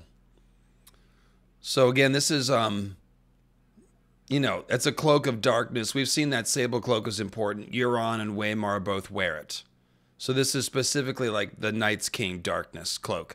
And it's made from stolen skins.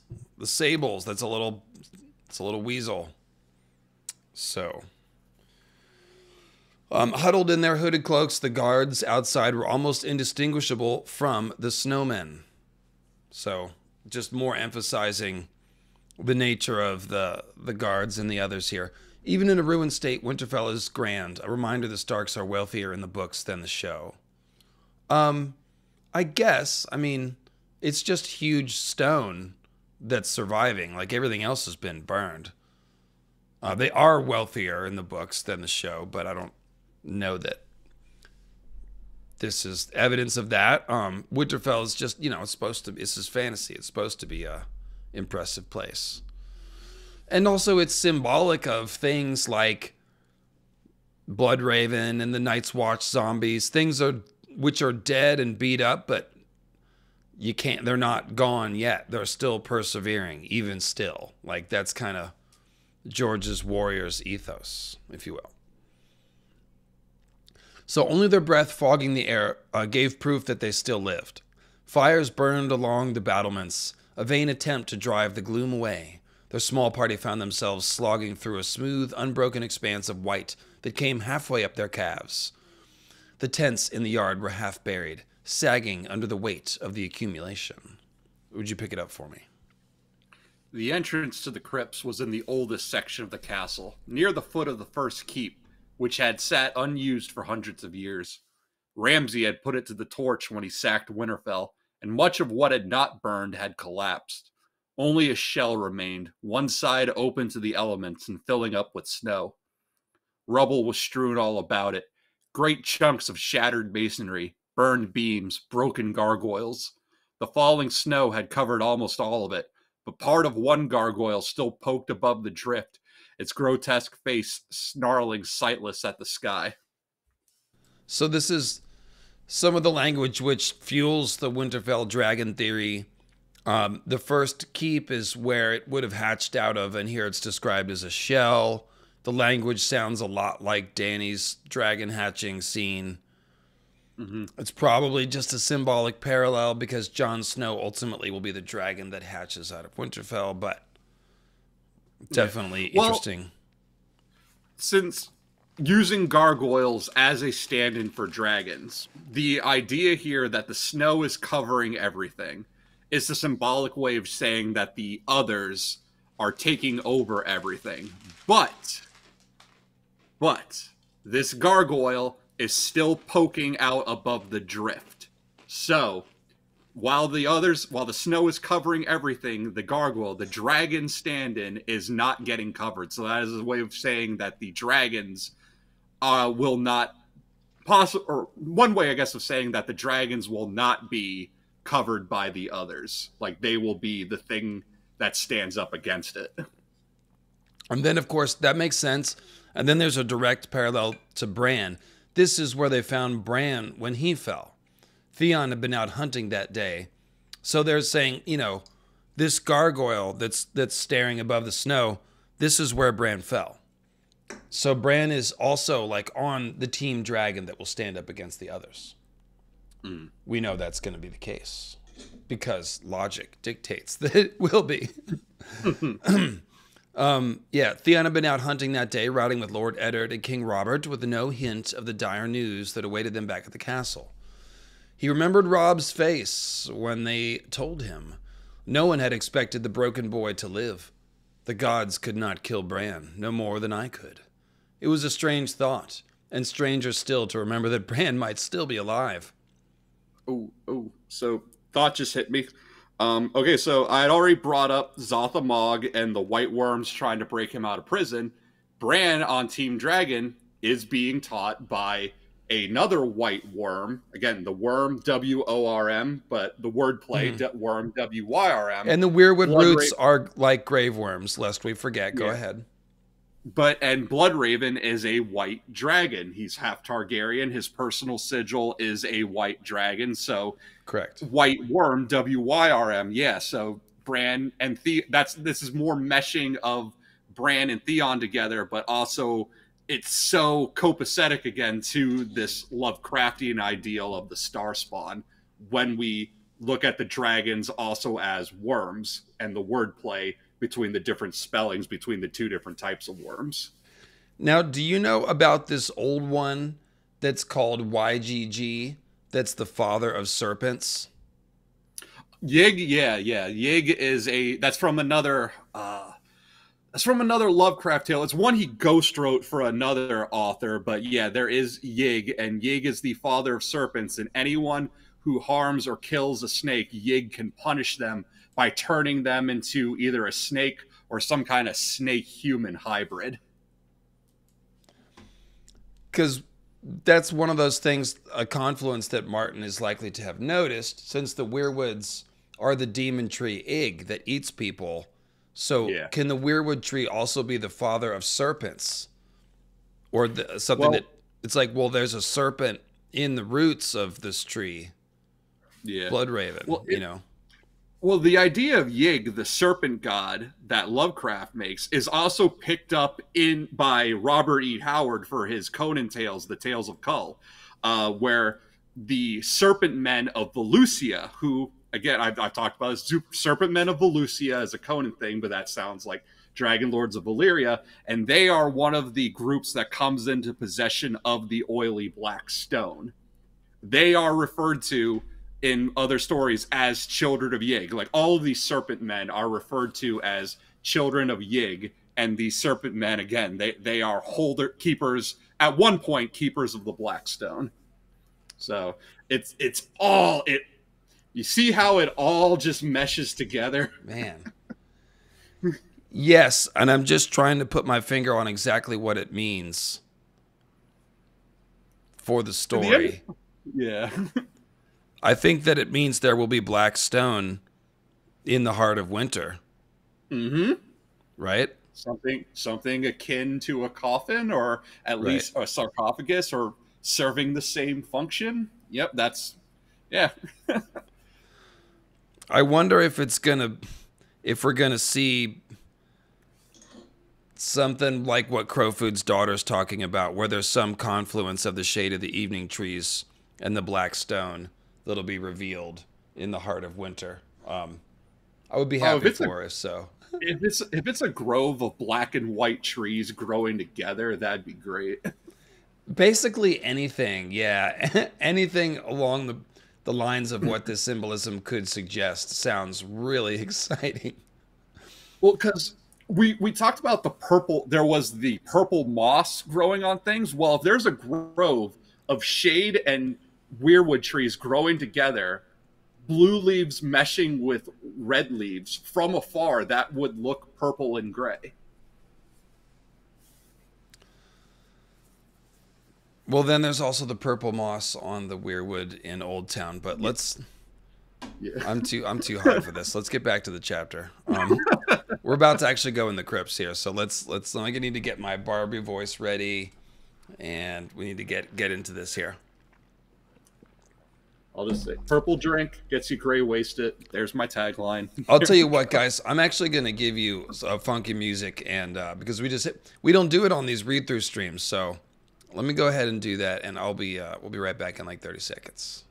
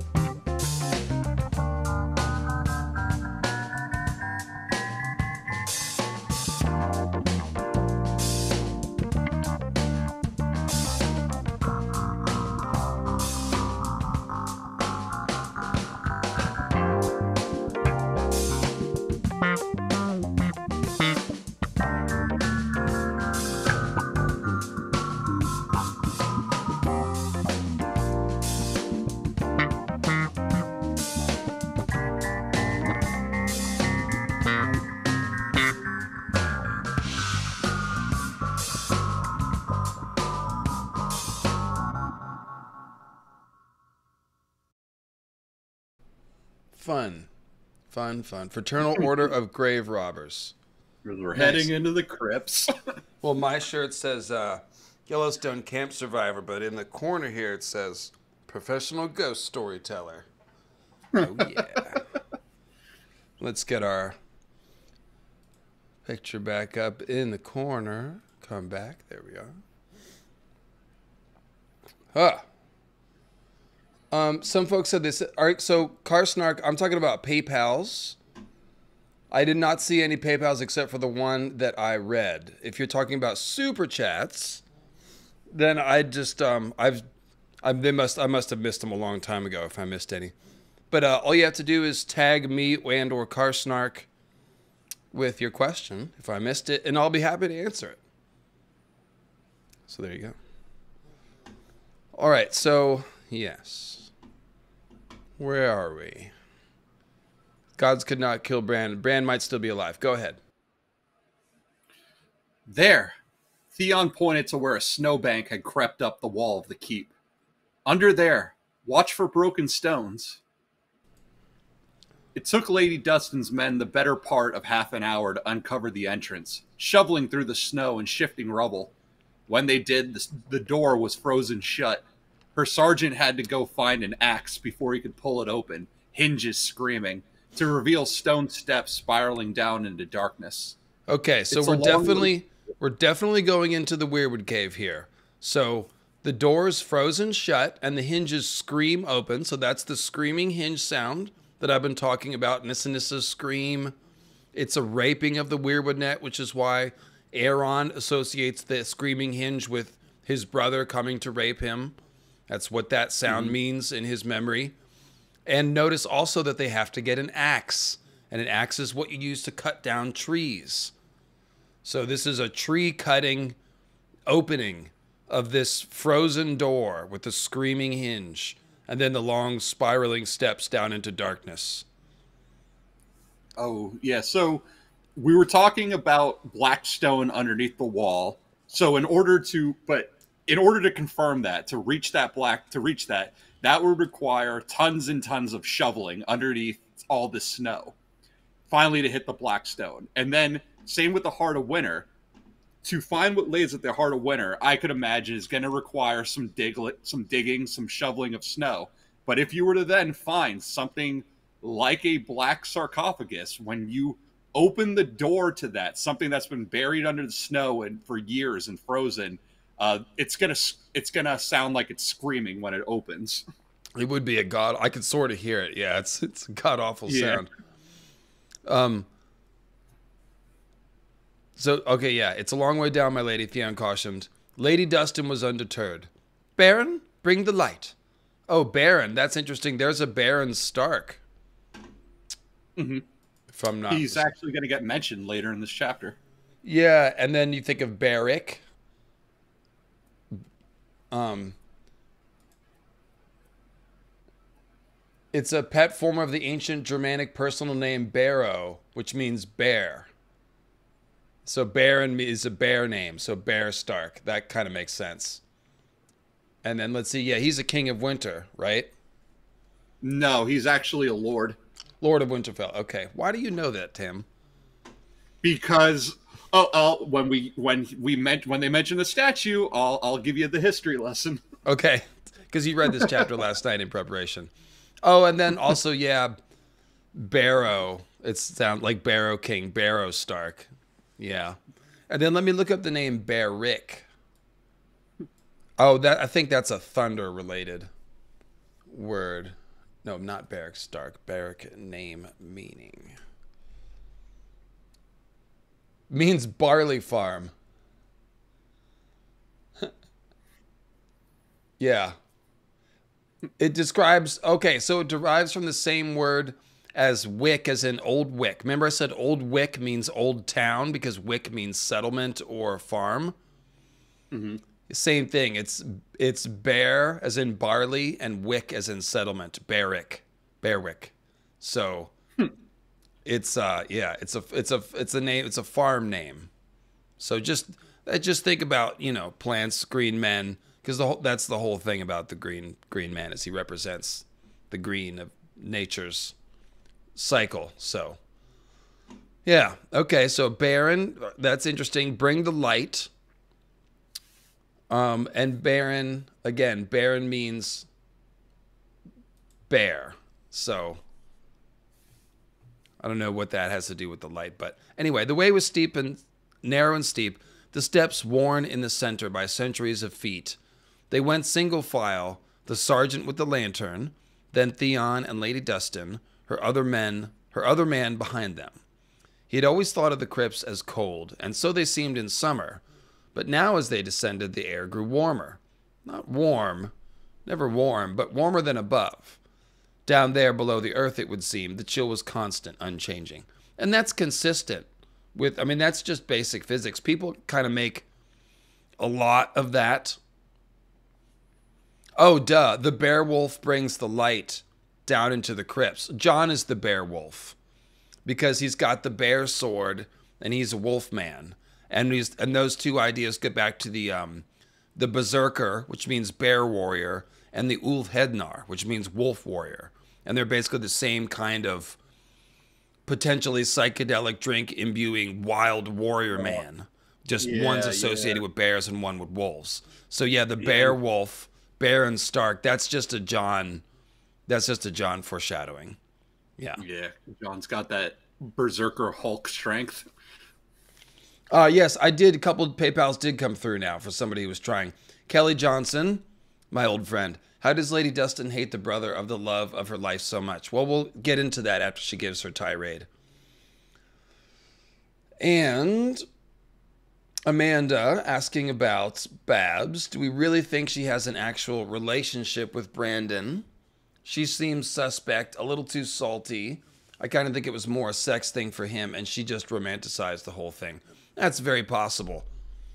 That's very possible. We, um, we you know we talk a lot about Robert, you know, I, idealizing and romanticizing a version of Lyanna that doesn't even exist. Mm-hmm. It's women can do that too, obviously. So yeah, like, like uh, L- Lady Olenna, the queen, the Queen of Thorns. Um, she says that she is the one who turned the Targaryen down, but in reality, it was Daeron, the Targaryen was supposed to marry, is the one who broke who broke the marriage pact because he was gay. And it really does seem she's covering up for that. She oh, probably was hurt by that. She's I read that out. differently. I read that as like she made him break off the pact so she didn't look bad because she didn't want to marry him. No, I, I think that I think that's uh I think that's an excuse. I think she actually was looking for. I think she wanted to marry a Targaryen, and when he, I could it, see that working to too. Face. Either one would yeah. be plausible. Yeah. she made him gay. She's like, God, if that's what women are like, forget it. No, I, I, I, just, I always, yeah, I read since she's such a string puller and, and a manipulator, and she was all like, oh, they were going to wed me to a Targaryen, but I soon put an end to that. So I just felt like she yeah. scared the crap out of him and got him to break it off so that she, because she, as a woman, she doesn't really have a right to break off the betrothal. It would have had to been her father. Yeah. So it was probably easier for her to manipulate the Targaryen. But you could be right though. It could be the way that you're saying yeah. too. I read it as like break up with me. No, I break up with you, and that's what I'm going to tell everybody. And Daeron didn't care, and he was just like, okay, whatever. I'm going to go off with my boyfriend. with my boyfriend. All right. So where are we here? Constant, unchanging.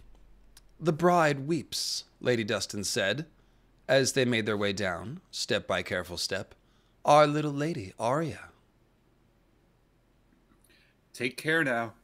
Take care. Take care. He put one hand on the wall. The shifting torchlight made the steps seem to move beneath his feet. As you say, my lady. So that's a spiral stair. If it's moving, that's now like a serpent. That's a wriggling serpent that we're climbing down. And we we saw that there's the serpentine stairs in King's Landing that are a parallel to this. Also, there's a spiral stair going down the well underneath uh, the Red Keep that Arya uh, navigates, and I believe that is another parallel too.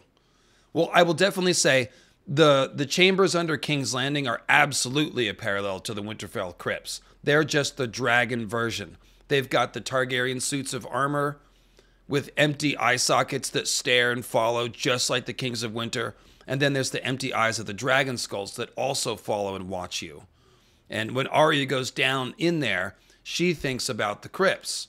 And that's where we get that bit about Jon hiding and covering himself in flour and emerging as a spirit moaning for blood, which is foreshadowing, obviously, of Jon being stolen by the others. Duh, that's one of the first places I found that idea. So yes, these are parallel locations. Um, and so we could probably draw a three-way parallel then between Bloodraven's cave and the place under King's Landing and the Winterfell crypts. So, yeah. The dragon suits are covered in scales. Yeah, no, they're they're sick. Sansa sees them, uh, and and her her lantern that she carries seems to animate them as she walks by, which is the same thing that happens in the crypts whenever anybody carries a lantern, everything seems reanimated. So mm-hmm. those suits of armor are not going to be reanimated, but they are symbolic of Night's Watchmen who are like part dragon, something like that. You know, fire whites, something along those lines. So, uh, take care now. Go ahead with that. Or as you say, but you did read that. Okay, as you yeah, say, my lady. Roose is not pleased. Tell your bastard that. He is not my bastard, he wanted to say, but another voice inside him said, He is. He is. Reek belongs to Ramsay, and, and Ramsay belongs to Reek. You must not forget your name. That's so crazy. Dressing her in grey and white serves no good if the girl is left to sob. The Freys may not care, but the Northmen, they fear the Dreadfort, but they love the Starks. So right here, she's giving away that she knows it's not Arya. She's mm-hmm. like, oh, our little lady, Arya. You can dress her in gray and white, but it does no good if she's left to sob. She knows it's not Arya. Yeah. And then before that too, like when he thinks he is not my bastard, that is a shade of the old Theon poking out. Like that is the kind of snark response Theon would say, like he ain't my he ain't my bastard, he ain't my friend. But no, but then he has it's it's the confliction and just like he is, he's staying meek. He's stay because he's staying reek. Right. Not you, said Theon. Not you know. Not me, the Lady of Barrowton confessed, but the rest, yes. Old Whoresbane is only here because the Freys hold the Greatjon captive. And do you imagine the Hornwood men have forgotten the bastard's last marriage, and how his lady wife was left to starve, chewing on her own fingers? What do you think passes through their heads when they hear the new bride weeping? Valiant Ned's precious little girl. No, he thought. She is not of Lord Eddard's blood. Her name is Jeyne. She is only a steward's daughter. He did not doubt that Lady Dustin suspected, but even so. Lady Arya's sobs do us more harm than all of Lord Stannis's swords and spears. If the bastard means to remain Lord of Winterfell, he had best teach his wife to laugh. My lady, Theon broke in. Here we are. The steps go farther down, observed Lady Dustin.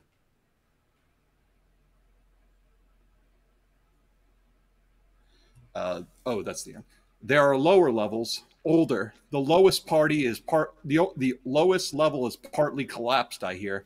I, I've never been down there. He pushed the door open and led them out into a long vaulted tunnel where mighty granite pillars marched two by two in the blackness.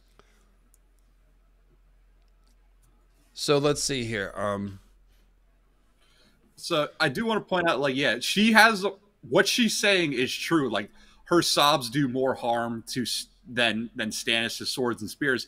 And we hear that when we hear the northern mountain clans the northern mountain clans speak like big bucket wull when they talk about going and saving the ned's daughter because they have such high respect for for ned stark and big bucket wull gives that epic speech of like let me let me die uh, with Bolton blood on my lips burying my axe through their skulls like these men are pissed it doesn't matter that like they because they think that I mean they think it's Arya, but like yeah, what Ramsay is doing to Jeyne and them thinking it's Arya and them having that great respect for Ned, like yeah, the, these men are pissed problem. off. Like they they want Bolton blood.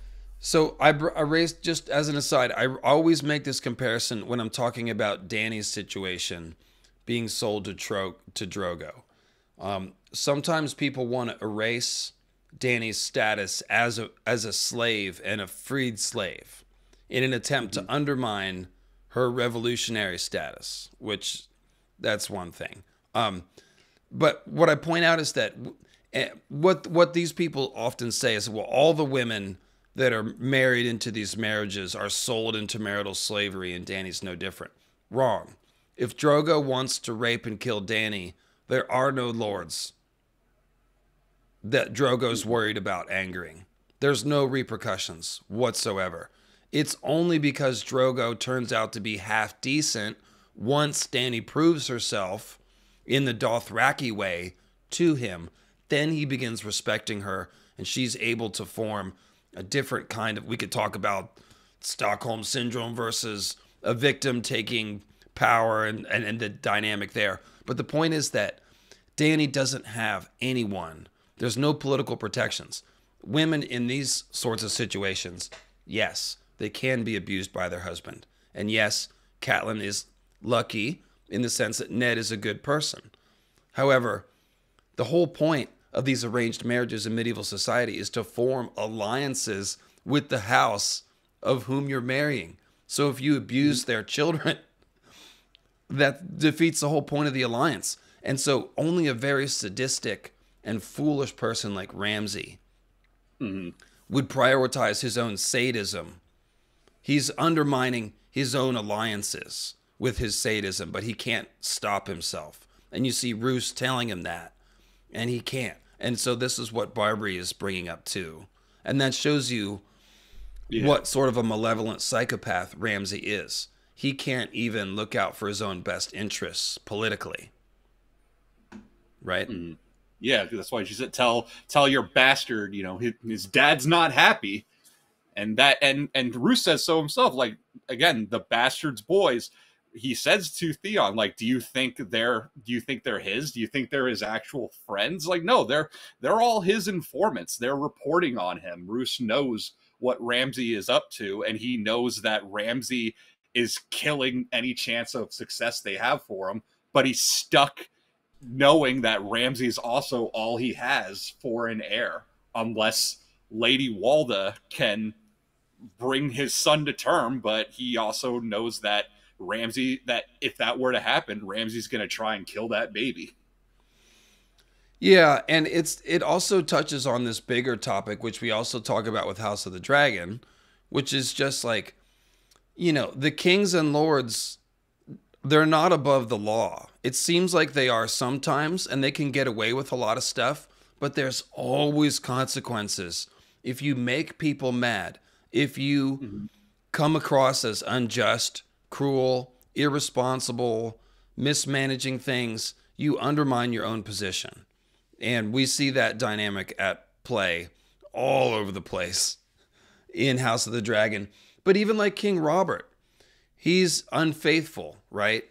And he mm-hmm. doesn't he's not held to the same standard as Rhaenyra because he doesn't have the womb and Rhaenyra does, right? This is a patriarchal society. It's different. However, Robert having bastards still causes political consequences.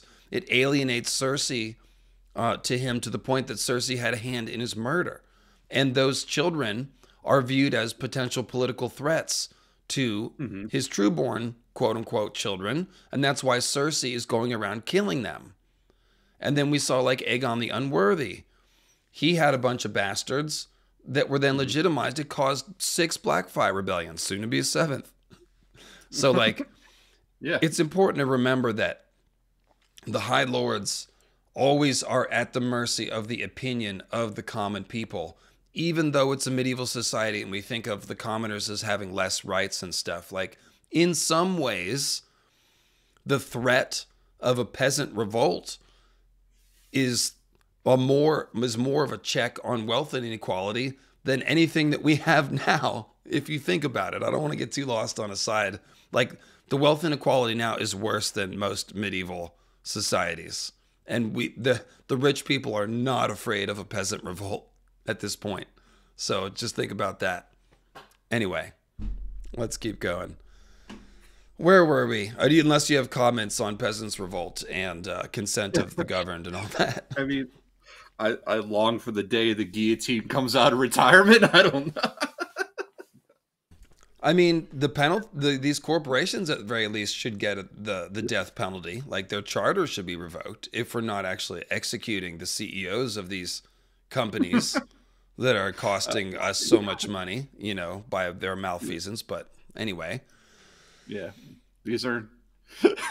I mean, that's actually that's an opinion that people on the left and the right can agree on. You know, holding malfeasant bankers and corporations accountable. It's just a matter of how we do that and what's yeah. appropriate. But yeah. in any case, and now for something completely different. Lady Dust. So here we go. Lady Dustin Sargeant raised the lantern. Sergeant Baron. Shadows slid and shifted. A small light in a great darkness. So that is Azor Ahai language specifically. A small light in a great darkness. Melisandre says, even an ember in the ashes can spark a great blaze. So that's the same thing. So Baron, remember, Baron is Baron Stark means Bear Stark. So this is a Jon parallel character. He's bringing the light into the crypts, which seems to reanimate. This kind of makes sense, right? Like remember, the idea of the of the Kings of Winter reanimating in the crypts very mm. well could simply refer to Green Zombie Night's Watchmen. That could very well be the whole summation of what it's talking about. So Jon is simply reanimating his other fire whites. Kinda. If we're following the parallel here. So Theon had never felt comfortable in the crypts, and neither does Jon, of course. He could feel the Stone King staring down at him with their stone eyes, stone fingers curled around the hilts of rusted longswords. None had any love for Ironborn. A familiar sense of dread filled him. So many, Lady Dustin said. Do you know their names? Once, but that was a long time ago. Theon pointed. The ones on this side were kings in the north. Torrhen was the last. The king who knelt. Aye, my lady. After him, there were only lords. Until the young wolf. Where is Ned Stark's tomb? At the end. This way, my lady. That's like just getting right down to it. She's like, show me Ned's tomb so I can hate it. Go ahead and read here. Their footsteps echoed through the vault as they made their way between the row of the rows of pillars. The stone eyes of the dead men seemed to follow them, and the eyes of their stone dire wolves as well. The faces stirred faint memories. A few names came back to him, unbidden, whispered in the ghostly voice of Maester Luwin. King Edric Snowbeard, who had ruled the North for a hundred years, and who Brandon, again, and who built the outer wall, which might be hmm. a clue about Stark's building the ice wall. Go ahead. And the first victim of Elio and Linda's AI shenanigans on the wiki. Oh, I don't know if it's the first, but definitely a victim. one I know. yeah, definitely. the only one I know of so far. Uh, hmm. Brandon the shipwright, who had sailed beyond the sunset.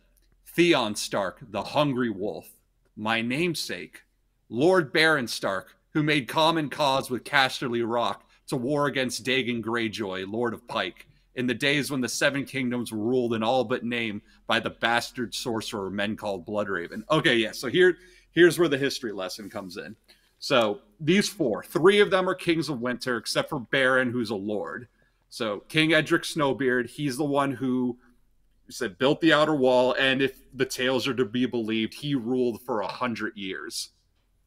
Um, Brandon, the shipwright, yeah, he he is uh, king in the north, king of the north, who wanted to sail across the Sunset Sea, which is the ending that the show gives to Arya.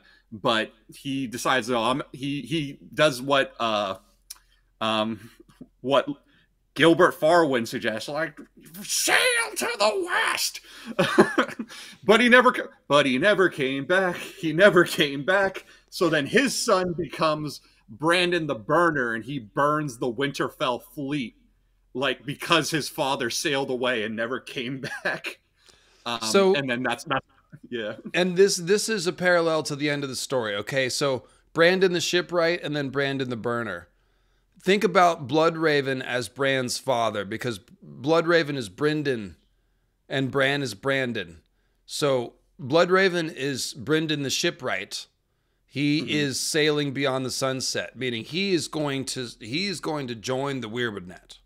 Sailing beyond that's sailing into the sea and out of sight. That is the same as like going into the green sea. Okay, but his son will burn like Brandon the Burner burned the fleet so that no one could sail the green sea ever again. That's the Weirwood yeah. download. Bran Stark will have the Weirwood net downloaded into his brand brain, and no one will ever, no human will ever be a green seer again. So yeah. that is that is a direct parallel. Go. What are you laughing I, at? I just thought of Styx. I'm sailing away. I don't know Styx, but you don't know sailing. Oh, come sail away. oh, that's yeah. Okay, so all right. Well, anyway, back to back to our history lesson. So Theon Stark he is the uh so he's like a preserver of the old gods because he's the one who stops the Andal invasion and then takes the fight back to Andalos and he like stakes those guys out on the beach. Because so Theon Theon means like a divine instrument essentially. Theos is you know god or divine godly. So a Theon is a god thing. Um, and yeah. so that's why Theon is becoming an instrument of the old gods here, and Theon Stark was a fierce defender of the old gods yeah. and of the sea. So it's because of Theon Stark that the Andal invasion kind of stops at the north. Not to say they didn't have an influence, because obviously southern influences are there in the north, like how they speak the common tongue, but they were able to keep their own religion. That's thanks to Theon Stark. And then lastly, Lord Baron Greyjoy, I mean Lord Baron Stark, he is the one who gathers swords to fight Dagon Greyjoy, the last Reaver. So, because we've done Dunk and Egg, uh, Dunk is told like three separate times, like, oh, you should go to Winterfell. Lord Stark is gathering swords to fight the Ironborn. This is him, Baron Stark. So, if Dunk and Egg are to go to Winterfell, like in She Wolves of Winterfell, Baron Stark would be the one that they're uh, offering their service to. He's the one who takes the fight to Dagon Greyjoy. And Dagon Greyjoy is important, obviously, because Theon's here. He's Ironborn, but now his uncle Euron is like the second coming of Dagon Greyjoy because Dagon Greyjoy okay. is like that. Make the Iron Island. When's the last time the Iron Islands were great? Oh, it was, it was when Dagon was in charge. When he was re, when he was raiding and reaving during the time of Bloodraven, because Bloodraven was so focused on the east. Okay, so switching gears to the foreshadowing of Jon, Lord Baron Stark. That's that's Jon Bear Stark. Mm-hmm. Um, makes common cause with Casterly Rock, i.e., Jaime and Brienne, and potentially Tyrion with Dany, to war against Dagon Greyjoy, who would be Euron, Euron. and or the others, whom Euron might command by blowing the horn of winter, which is the little one. This is what I figured out recently. Have we talked about that? This is a new theory I came up with on my iceberg. Um, we've talked a lot of Euron stuff. Like what specifically? That, that the little gonna... horn that they found at the Fist of the First Men, that it did call, they blew it, and it called the others oh, to the Fist of the First Men, and that's why it's in Oldtown we have talked about that that it might be a dog whistle for the others and that's why it didn't make maybe it did make a sound it's just not one that people can hear it's dog whistle yeah. and that's why euron has it because he eventually will use it to command the others and that's how he'll do it um this is that's the rest of the theory. So um now the important thing here the most important thing is that there is a theon stark in the crypts who is a king of winter. That just tells you Theon, who was turning into the Grey King and thinks about himself as a Stark, we should compare him to the Grey King and the Kings of Winter, meaning the, it's the same thing. The Grey King, who turned th- lived for a thousand years and sat on a weirwood throne and turned gray into a statue, that's the same thing the Kings of Winter are doing, sitting in weirwood thrones, turning into statues. Like it's a huge clue the fact that there's a Theon Stark in the crypts who's a king of winter. So, yeah. Especially with this chapter and all the context of what's going on. But um, let's keep let's keep reading. Oh, and then the last part of the Jon parallel when the Seven Kingdoms is ruled by Bloodraven. It's like, yeah, Bloodraven will be helping to coordinate a lot of this stuff. You know, Jon fighting against Euron. We will see how long Bloodraven holds out for, but That king is missing his sword, Lady Dustin observed.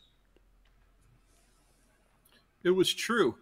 Theon did not recall which king it was, but the long sword he should have held was gone. Streaks of rust remained to show where it had been. This is the sword that Hodor has. When Bran and company leave the crypt, Hodor has a rusty sword. So, mm-hmm. yeah. Uh, the, the sight disquieted him. He had always heard that the iron and the sword kept the spirits of the dead locked within their tombs. If a sword was missing, there are ghosts in Winterfell, and I am one of them. So again, that's another clue. Theon is like the kings of winter, mm. one of which is named after him. There are ghosts like, oh, the kings of winter ghosts might be free. And then he thinks, there are ghosts here, and I'm one of them too. So again, Theon, a king of winter, is a parallel. Yeah. And this this is also the iron and the sword kept the spirits of the dead within their tombs. Like this is some old school ghost stories. The idea of things like iron and salt are supposed to keep ghosts either at bay or or entombed or pegged down into where they're sealed. Right. So, okay, so they walked on. Barbrey Dustin's face seemed to harden with every step. She likes this place no more than I do. Oh, this is you. Theon heard himself say, My lady, why do you hate the Starks? So, this is just like the million dollar question that Barbrey's just been waiting for someone to ask. It's just like, oh, you'd like to know that. Well, there's uh, Let me cue up my diatribe. She studied him for the same reason you love them. Theon stumbled. Love them? I never. I took this castle from them, my lady. I, I had I had Bran and Rickon put to death, mounting their heads on spikes. I rode south with Robb Stark, fought beside him at the Whispering Wood and Riverrun, returned to the Iron Islands as his envoy to treat with your own father. Barrowton sent men with the young wolf as well. I gave him as few men as I dared, but I knew that I must needs give him some or risk the wrath of Winterfell, so I had my own eyes and ears in that host. They kept me well informed. I know who you are. I know what you are. Now answer my question. Why do you love the Starks? I. Theon put a gloved hand against a pillar. I wanted to be one of them. And never could. We have more in common than you know, my lord. But come. Only a little farther on, three tombs were closely grouped together. That was where they halted. Lord Rickard, Lady Dustin observed, studying the central figure. The statue loomed above them, long faced, bearded, solemn. He had the same stone eyes as the rest, but his looked sad. He lacks a sword as well. It was true. Someone has been down here stealing swords. Brandon's is gone as well. He would hate that. She pulled off her glove and touched his knee, pale flesh against dark stone. Brandon loved his sword. He loved to hone it. I want it sharp enough to shave the hair from a woman's cunt, he used to say. And how he loved to use it. A bloody sword is a beautiful thing, he told me once. You knew him? Theon said. I just realized Lady, Lady Barbrey wouldn't wouldn't do Brandon's voice. She would say it in her own voice. So I apologize for that. Um, I probably would say that when they come out with sword, like I said, Hodor has the rusty one. Bran's though is more the one that Bran takes is newer and still sharp. So it was probably Brand who took his uncle Brandon's sword. Makes sense that he would take the sword from his namesake. That's cool. And so Hodor has who? We don't know whose sword Hodor has. No, just that he has one of the four. It's one of the four they mentioned. It's either so either Bear, either Baron Starks or Edric Snowbeards or Theon or. Uh, well, it's got to be Snowbeards because um, he Hodor gets a Snowbeard, and he gets Ice Eyes too. But I think he's just really archetypal King of Winter when he gets that sword. I don't know if it matters which one. Anyway, the lantern light in her eyes made them seem as if they were afire. Brandon was fostered at Barrowton with old Lord Dustin, the father of the one I'd later wed, but he spent most of his time riding the rills. He loved to ride. His little sister took after him in that. A pair of centaurs, those two. And my lord father was always pleased to play host to the heir to Winterfell.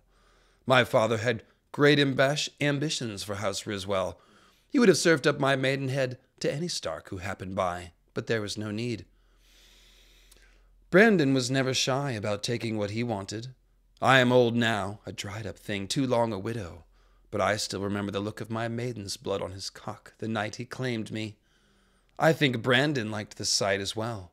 A bloody sword is a beautiful thing, yes. It hurt, but it was a sweet pain. Oh, one second here, hang on.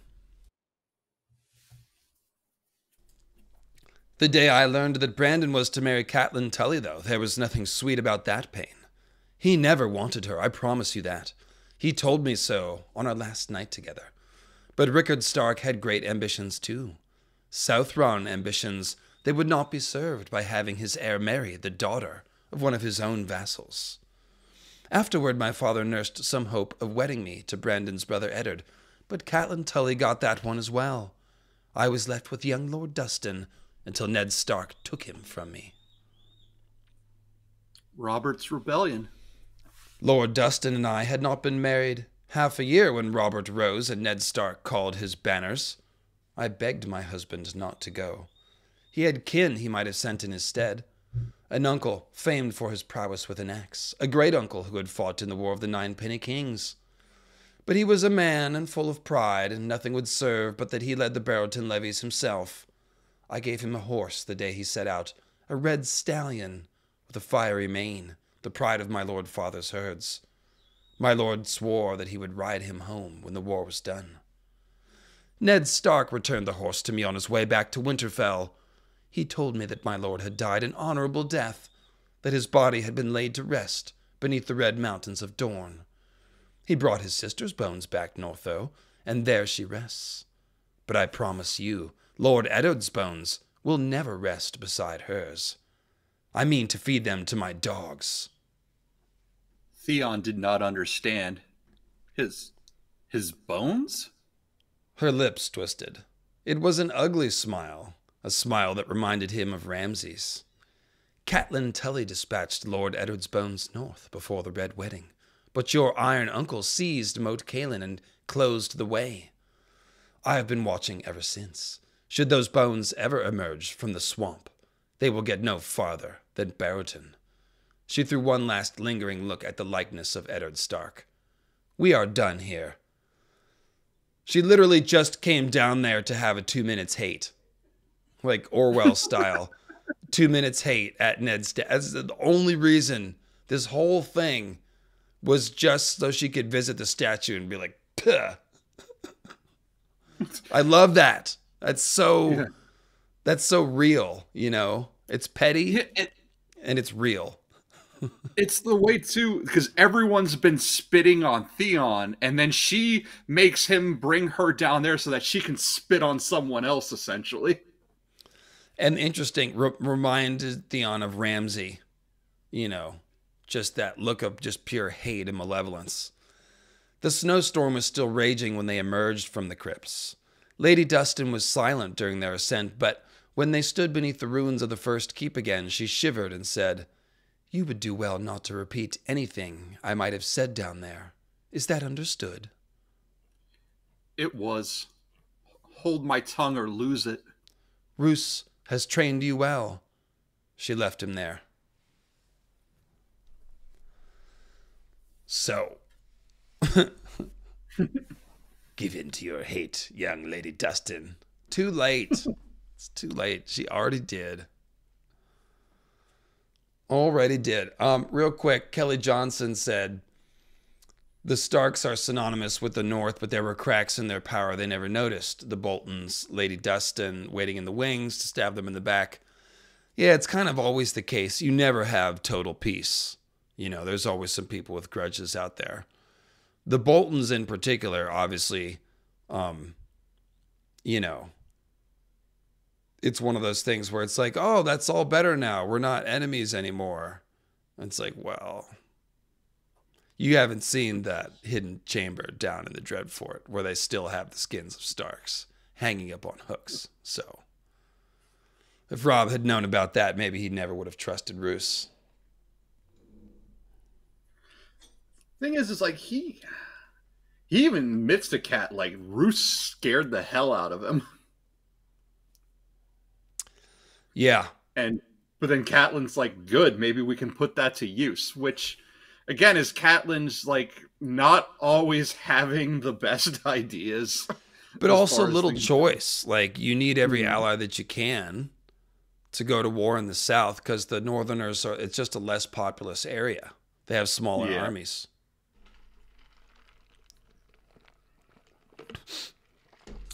Enu says he had a two minutes hate at a can opener this weekend. I feel you. I feel you. Yeah. So she, yeah, regrettable muffin. So that totally wasn't the only reason. She also wanted to find a secret way out. Yeah, yeah, because like I said, they make it. He, it's been made a point that the Boltons have this place on lockdown. So okay, are, I buy that. Yeah, it, it. Yeah, I buy that. That there was a dual purpose. And she's even clever enough to be running all this banter so that Theon doesn't notice that she's, you know, casing the joint, mm. essentially. Yeah. Yeah, and that's the thing because, and that's why she needs to do this, manipulate Theon as much to do this because, again, it's been drilled into Theon's head that any opportunity for escape is no, it's not real. It's just a game. There is no escape. Like Ramsay has Ramsay's thought of it all, but no. So if he if he knew that that's what she was really doing, looking for a way out, he'd be even more reluctant to to come down there with her because he would think that she's in on it, just like how he was saying before. Like, no, no, they're all they're all laughing at me. They're all in on it. Everyone's he's having those paranoid those paranoid thoughts. Um, yeah, I I think I think that makes total sense. Uh, and the thing is that like the hate is so genuine here. So it's mm-hmm. definitely mm-hmm. like if it's serving as a cover, it's a genuine cover. Like it's it really was a dual purpose visit. Um, and no, Jaehaerys can't be cold hands. Jaehaerys was burned on a funeral pyre, and cold mm-hmm. hands is a skin changer. And Tar- Targaryens are not skin changers, unless they are Blackwoods. So As I'm not for, sure where that theory came from, but I would say no. So then Ash Meadow Phoenix says, like, the swamp, does Howland have them? Because here she says, if the bones ever come up from that swamp. Now she's referring to Moat Cailin. However, there were two other people that Robb that Robb Stark before the Red Wedding dispatched to Greywater Watch. He sends Maege Mormont and Galbart Glover with that letter to to go spy to, or not to spy to go see uh, Howland Reed down at Greywater Watch. That was before the Red Wedding. Since then, their whereabouts are unknown. So when they say the swamp, like even though they're meaning Moat Cailin, that could also mean though that something is going that if something resurfaces up in Winterfell from the swamp, maybe it's actually something that's coming out of Greywater Watch. Yeah. If when Maege and Galbart return. Definitely, I take it to refer to the whole neck, um, yeah, for sure. So, and then yeah, coming out of the swamp. I mean, we know what comes out of the goddamn swamp, don't we, Tim? Yeah. Squishers. And Galbart, as for that, Galbart Glover may have resurfaced because he's one of the candidates for the Hooded Man in the next Theon chapter. That's the one that makes the most sense to me. In fact, yeah, Galbart Glover. Mm-hmm. The North's 007. Secret agent Galbart Glover turns up in the Wolf's Den with Wyman Manderly. Fucking badass, dude. Yeah. Which is another then, chapter we got to read, that Wolf's Den chapter. But cool. Well, last call for questions, and then we'll we'll get out of here. And uh, like I said, there will be a new video this week, guys. I'm not even going to tell you the topic, but it's going to be another one in the Disaster Hunters series. It's not the Ironborn video, but it's going to be very exciting. And it will have the words Timeline Heresy attached to it. Now, I know how you guys like that. So look out for that on Tuesday if I'm very productive, more likely Thursday. So, Kelly Johnson, I think I answered both your PayPals, homie. Uh, it's one about the Starks yeah, I just answered. Sure. And you sent one and asked about how does Lady Dustin hate the brother of the love of her life so much? Well, I think the chapter um, just there's there's not more PayPal's. I answered them all. Um, how does Lady Dustin hate the brother of the love of her life so much? Yeah, I mean, it's she explained it.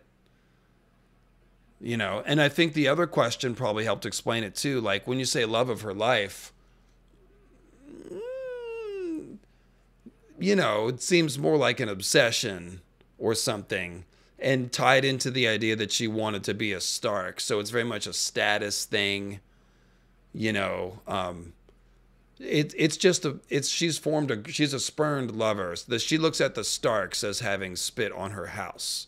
That's the thing. It's not just Brandon and Ned. It's like the house as a whole took her virginity, used her while she was young, and then discarded her and never married her.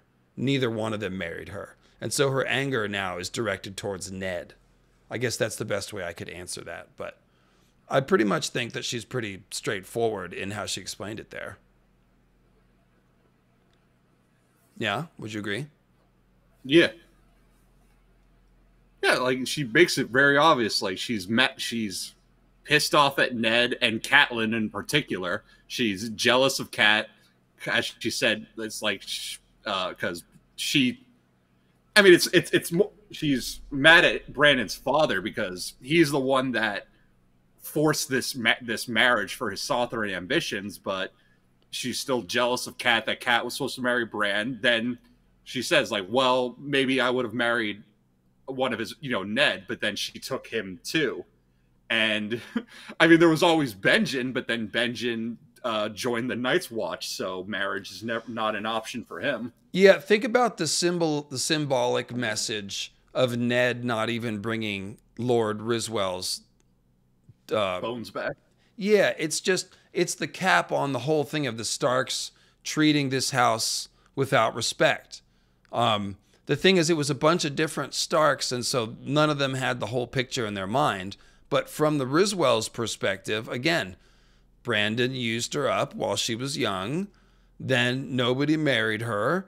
And then when she did get married to a different guy, Ned took him off to war and didn't even have the courtesy to bring the bones back and then was like, oh, he died valiantly. And she's like, yeah, fuck that. Yeah. But he brought his but he brought his sister's bones back. He so there's sure that they came back. Yeah, so it's understandable. Like, I mean, not not to the extent she's taken it, but you can see how the lines like connect on that, you know, to make a yeah. picture of a grudge. So yeah, and then there's also because there were three others too that died with her husband. Like it was Ned, Howland, and four other guys. So he didn't bring their bones back either. There's four men, based essentially buried that he took with him, buried under the Tower of Joy. Yeah, and then he brought Lyanna's bones back because that's important for Night's Queen symbolism. But also, it, it yeah, it, it it just yeah, it's unfortunate. You could see why Ned did it that way, but you can see why she's pissed about it. So. Mm-hmm.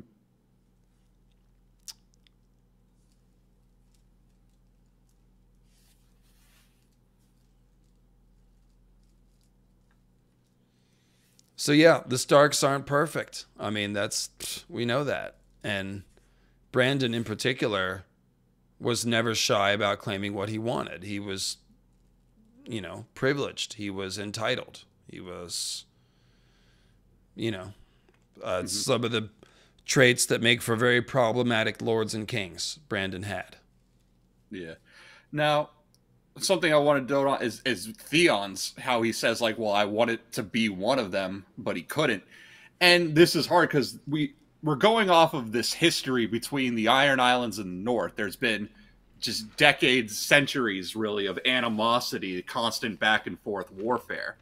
Um, but at the same time, a shared history. It's why, for as different as the North and the Ironborn are, they also have a lot in common which we're seeing with all this Grey King symbolism that comes up in the Stark crypts. But for Theon's part, he is, I mean, I'm not sure if they tell the exact age when he was sent to be a ward of Ned Stark, but it was at a very, very young age. We know that.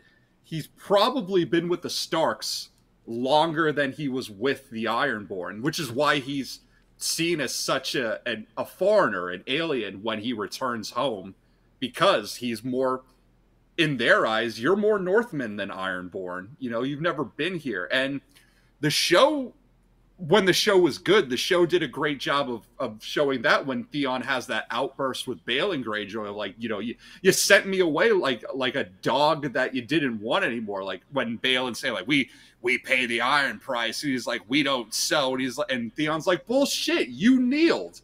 You gave me up to save your own ass like that is the truth of it. yeah. Um I always I feel real I feel so horrible for Theon in that moment when he comes back to Pike and is rejected so hard by his dad. Mm-hmm. It's just awful, man. I I continue to wonder about George's relationship with his father. But uh um to get to think about to wrap up the sort of the symbolism with the Grey King Theon stuff here in this chapter. Um Oh man, I just had a. Th- oh, the bones. Okay, so people are talking about the bones. The bones. Remember, remember the the you know the whites only stop moving when you break their bones, and Summer drinks the marrow and stuff. So like the there's something about bones that are very magical in this mm. story. Um, so Ned Ned insisting on bringing Lyanna's bones back could be a little bit of a cargo cult tradition thing, where originally super important to have the bones in the crypts because they're going to get frozen into the weirwood net. You know what I mean? So even all these years later, when Ned doesn't remember that that's the tradition, it's still there's a stark feeling that like the bones have to be in the crypts. And Ned's like, oh, she should have been on a hill. And Ned's like, no, this is her place. Like the Stark mm-hmm. bones have to be in the crypts. There's something sacred about that tradition that Ned understands, even in a general sense, but which we can kind of extrapolate back to this idea of the first Kings of Winter potentially being Green Seers on Weirwood Thrones. Yeah, George has right two sisters. If you really want to go there, Mike. but yeah, that's right up there with the. Uh, there always needs to be a Stark in Winterfell. It's like whether living or dead, that's where they need to be. I don't understand the question here. What will happen during the in the east during the long night? Nothing that's going to be relevant to the story that we're really going to hear about. Although there is Gray Plague uh, in Yi Mm-hmm. Elaborate on the Barrowton dead situation, please. I don't know what you mean by that either. Um, that's Barrowton is definitely symbolism. So when you say elaborate on, I'm not sure what you want me to elaborate on. I it's mean, just they're essentially used for corpse symbolism in chapters like this when we saw the Barrowton yeah. man, you know, being pelted with snow. Yeah, it's death.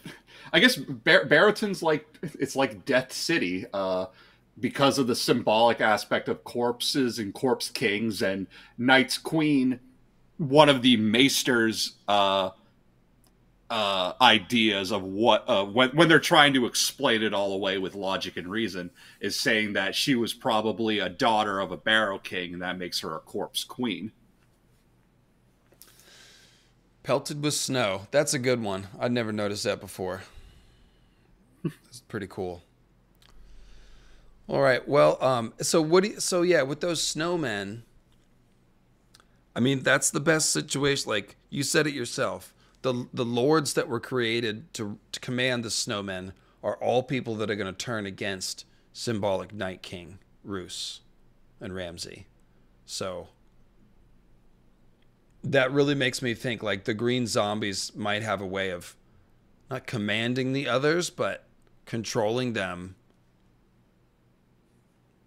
Maybe with that damn horn or Mm-hmm. Maybe Jon being whited or frozen is how he commands them. Uh, I've talked about that as an end of the story possibility. Jon and or Dany could both become Night King and Queen to lead the others back into the Weirwood Net or something. But yeah chat's just going on how they can't believe you don't know Styx or I, that's a little before my time. I'm not super into like 80s butt rock and hair metal stuff. I only know a little bit of that. I like 80s pop, but not so much like the metal stuff. That's why I was like, very old Metallica is great. Like, actually, it's good. Like, I don't really like Metallica, but the old stuff is worth listening to. Is kind of what I was saying. So that hmm. 70s prog rock. Styx? Styx is 70s prog rock? Like very late 70s, right? And I don't know about prog. Are they prog, Tim? Yeah, like Mr. Roboto is a is part of a whole rock opera about how some guy has to go in the future and he's okay. going to save the world with the power of rock. Okay, that's verified prog subject matter then. Yeah, I get that shows you how little I know about the band. Yeah. Cartman sings it. I know that doesn't make me know the song. I'd recognize the slowly demodding myself. I said I don't really like Metallica. I don't dislike them. I'm just not like a I don't bump them. Like I'm not a I never have been a Metallica fan so much. Oh, whoa. But yeah. even I can admit that that old shit fucking rules if you turn it up on a good stereo. It is fierce. I will you know. say the lyrics the lyrics to Blackened sound exactly like Long Night imagery. Yeah, we went we've talked about that. It's that's uncanny. Timeline heresies. Give us another hint. I mean, that was a pretty good hint. Um, let's see. It's it's definitely some of the subject matter that was in the video, um, the three hour live stream called Timeline Heresy: The Pact and the Hammer of the Waters. I covered a lot of ground in that, but think about the order of the series I'm doing here. Like I did Hammer of the Waters and Moat Cailin. I've opened up this idea that the hammer was a meteor of some kind. So there is some timeline heresy to address. The timeline heresy is calling Styx 80s hair metal. I'm sorry. Okay? That's pretty good, though. That's well played, Daniel. That's very well played. It is timeline heresy. That's exactly what that is. If my manager's watching this, he'll be upset about this as well. I'm sorry, I don't know the band. They sound like an 80s band, Styx. but yeah, what that that album sounds like prog. Did they turn into 80s hair metal? Did they do prog and then sort of shift over or like am I just for some just that a wild misassociation? I mean, it got Did they wear really tight leopard they... skin pants or anything? Like, what are we talking about here? All I know is it got really weird with kill when they did the Kilroy thing, and that basically killed their career. But um, I would just watch the Trainwreckords episode on that for more for more information on that one. Very good, very good.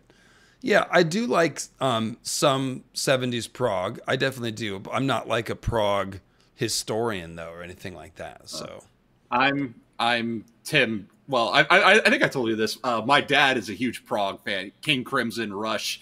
Uh, my name, Timothy. I'm Timothy Leary because of Moody Blues' Legend of a Mind. See, I like King Crimson a lot more than Rush. Rush is mm. cool, um, and I don't again don't dislike Rush, but I don't bump Rush. I listen to King Crimson regularly. Um, Emerson, yeah. Lake and Palmer also I listen to regularly. So for me, Papa was a prog rocker, Mama is a punk, and that's what's influenced my musical taste. Basically, I like I like late '60s, early '70s prog more than late '70s prog. Is kind of what I'm saying. So, anyway, I guess we're done with the stream here. How many people are watching? 370. Now, I guess this is still interesting. Yeah, you guys don't even know the band. I'm into Soft Machine. You guys don't know Soft Machine. I'd be surprised if there's a single person besides Carl Karsnark, maybe, who knows the band Soft Machine. That's what I'm into. That's very, er, very late '60s, early '70s, prog. Okay, he's into Soft Machine. I'm staying. Oh, of course, Anu Aurora knows them. He's old, like my dad. Yeah. King Crimson, I'm totally into Crimson. But again, I'm like I'm bumping 21st century schizoid man too, not just like the newer stuff. Like the like I listen to Adrian Belew's solo shit. So anyway. um Van der Graaf generator, no, I've not heard of them. So Zappa's like I can't really get into Zappa. Zappa's a little too like kooky for me somehow. I don't know. I mean, some of it's like pretty good, but I've never gotten into it. No. And yes, I still listen to At the Drive-In. Absolutely, I do.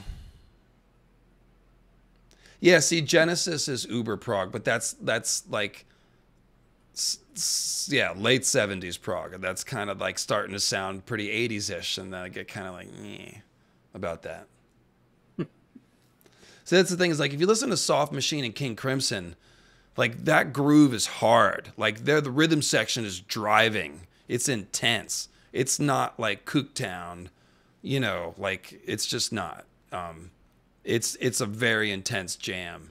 Um, so I really like, you know, uh, like Weather Report is a band. I like most of their stuff when they play when they jam hard and there's some of the weather report stuff that's a little too like ethereal for me. But um, Return to Forever, I could definitely get down on that. Definitely, that's a band that like I've been mean. I would mean to listen to more, but I've never I've never listened to them enough. But everything I've heard from them is really good. Who's the bass player on Return to Forever? He's a he's one of the legends.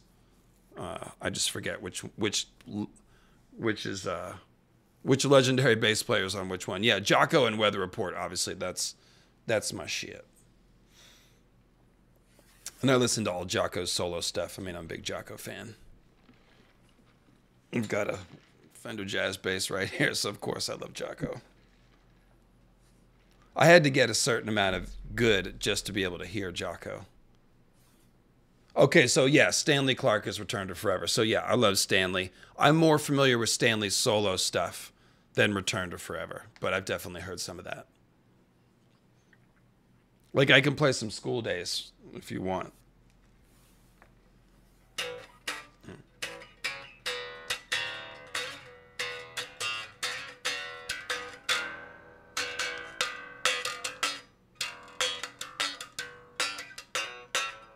Oh, down to Cloudy Brown. I am very familiar with Johnny Hobo and the Freight Trains. I love.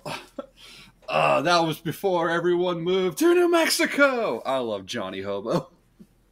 I don't know that one. I do like Peter Gabriel. He's like very clever. I I almost like his solo stuff probably more than Genesis. In fact, I'd probably say that's true. What about Newer Prog? Um, well, I'm big into Tool and Animals as Leaders. Mastodon's um, a little too metally for me. Coheed and Cambria, I'm not as much into. I've only heard a little bit uh, of that though. I'm seeing Tool in November. They're coming up here. Oh, that's cool. Yeah.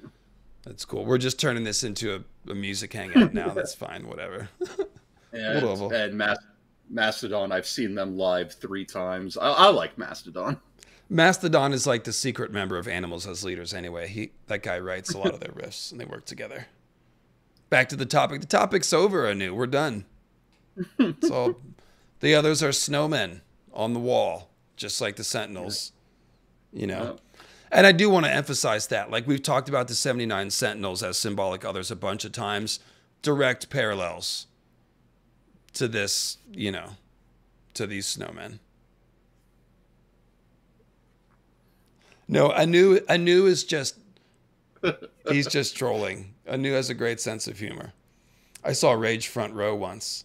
I climbed a fence and broke into a Rage concert once. It was a Rage Wu Tang concert, and I have a little scar that you probably can't see on my forearm from climbing over the fence. Mm.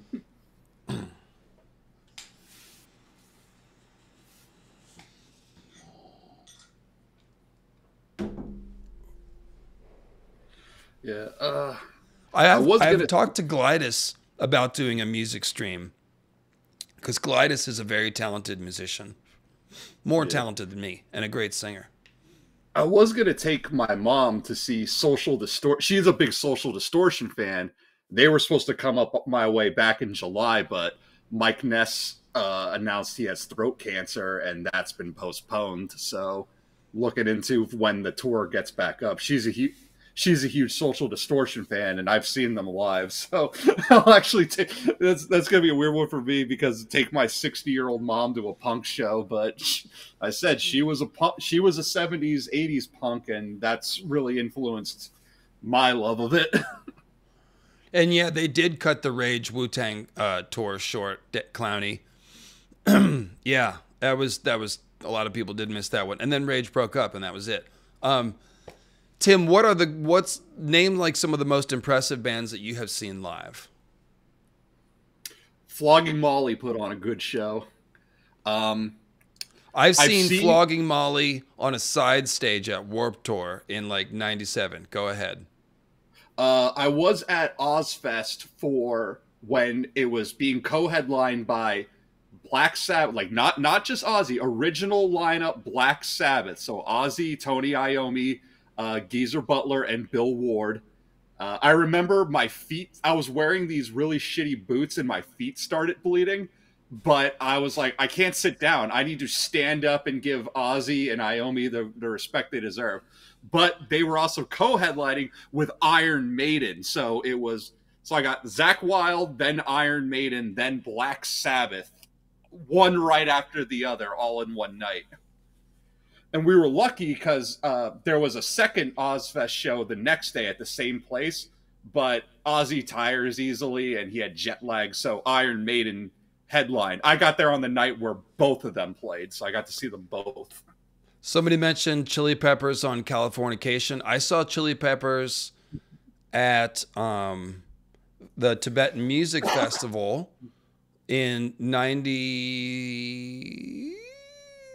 98 or something. It was the one where lightning struck inside the stadium and killed somebody. And that was the loudest sound I've ever heard. Um, a lightning strike inside of a football stadium. I was like halfway across the stadium from it, and it sounded like a gun that was about a mile tall being fired in the sky. It's an unbelievable thing to hear lightning that close. The show, I saw Chili Peppers, uh, Pearl Jam, Beastie Boys. Uh, I saw members of Pearl Jam playing with the Chili Peppers. We saw uh, a Dave Matthews Band was there for for anybody thrilled about that. Um, yeah, so let's see. I'll keep going with your list though.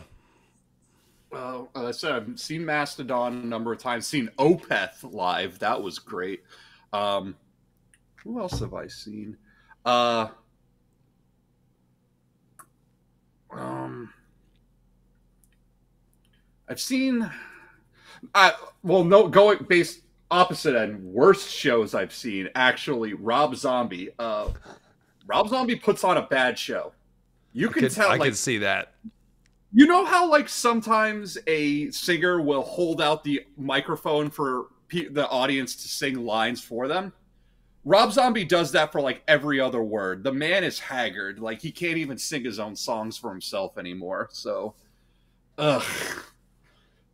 But and that's the thing because I've been to a lot of festivals, so I've seen like good acts and bad acts side by side because it all depends on how just how up the snuff they are that day. So one band that I have seen that is very much well, I can think of two bands that can sound very good or very bad.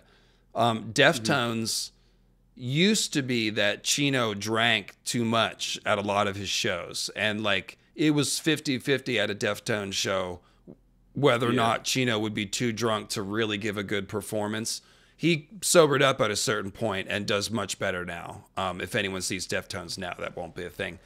But I remember one time seeing him at the Capitol Ballroom in DC, and we saw him drinking in the sound booth before during the opening act, and me and my lead singer in my band were like, "Oh, I don't know, this doesn't look good," and it wasn't. Um, but Deftones has I've seen them many times and many great shows. Uh, and the other one is Mars Volta, not because of alcohol, just because they're so complex and their instrumentation is so much and their songs are so ambitious. It barely holds together on the record. Um, so I've seen them at Greek Theater and it was perfect. And I've seen them at a club where it was just a mess. Um, I saw them at Bill Graham on New Year's on Mushrooms uh, one time. that was like 2005 or so. That was a fun show. Um, he came out in like an Aztec headdress um, at the beginning. That was interesting. Uh, let's see. Uh, you get you remembered any other shows now that I talked for a minute? Uh, I was at Slayer. They're re- they're during the farewell tour. So Slayer, Lamb of God, Behemoth, and Anthrax all in one go and Behemoth did really well. That was after uh, Nergal had recovered from his leukemia, took some time off and to recover, and came back and was like, "Okay, I got to make up for lost time now," and he killed it. Uh, he sounded great after everything he had been through. Put on a fantastic show. You and like that heavy Slayer, stuff. Yeah. And then when Slayer ended, like Tom Araya is just like, I'll miss you. And we're all just like, then don't leave. Don't stop. But no, nah, he wants to spend time with his kids and his grandkids. He says.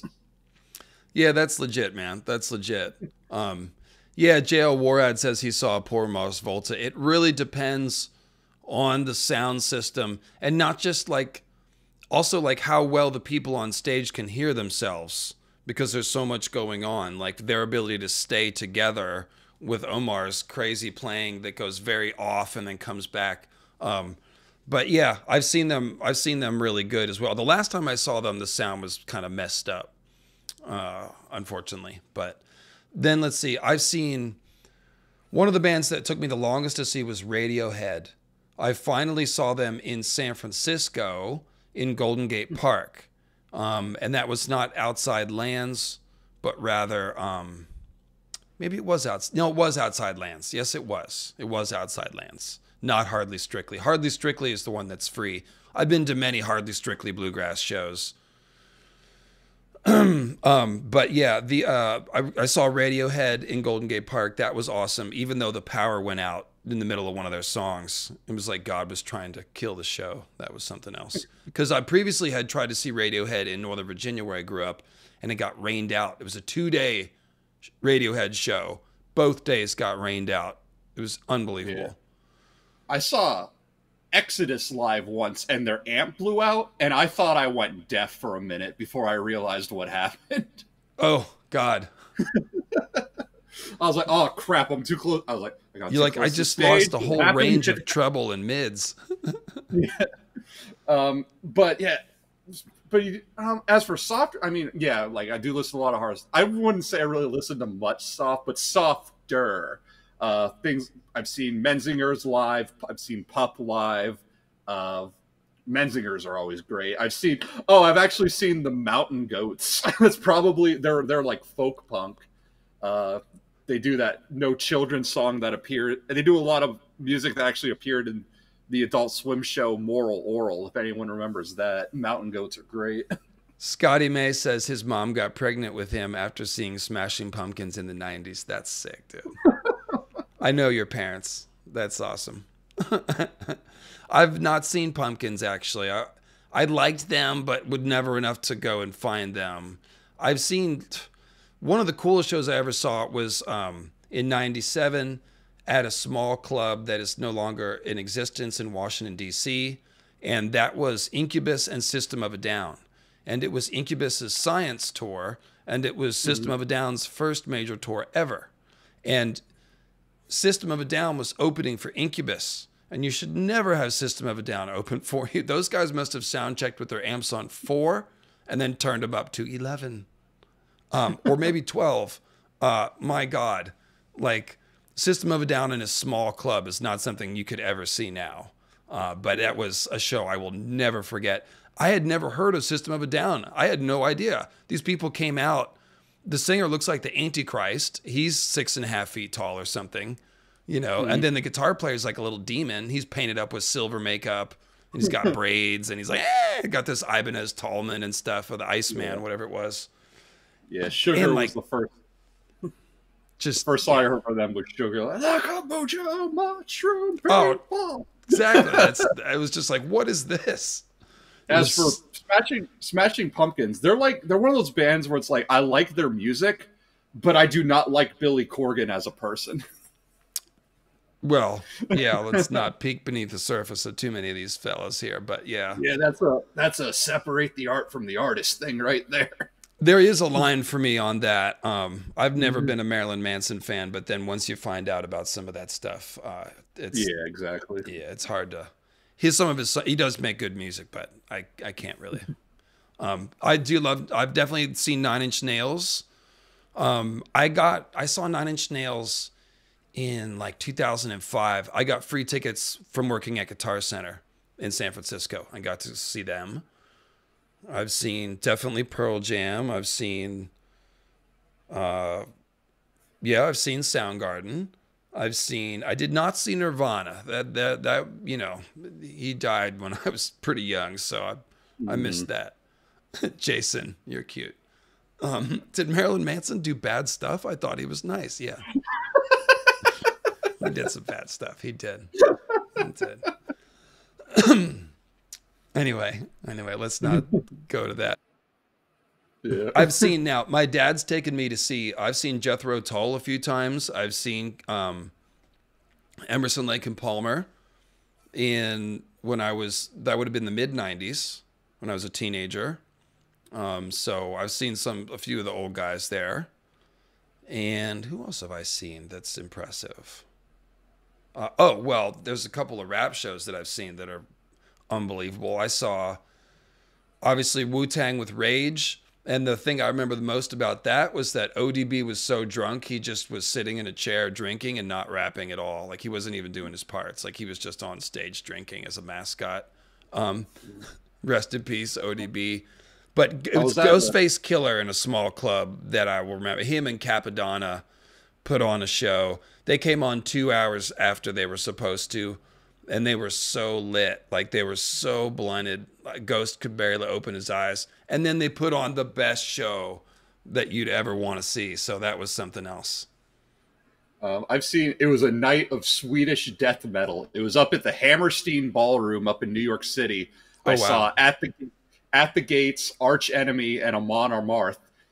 Weird. Three three Swedish bands that all start with the letter A, but saw them all in a row that one night. And then you know how like some bands they'll do that wall of death.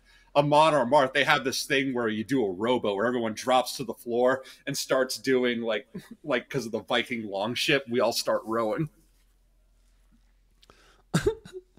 That's pretty cool.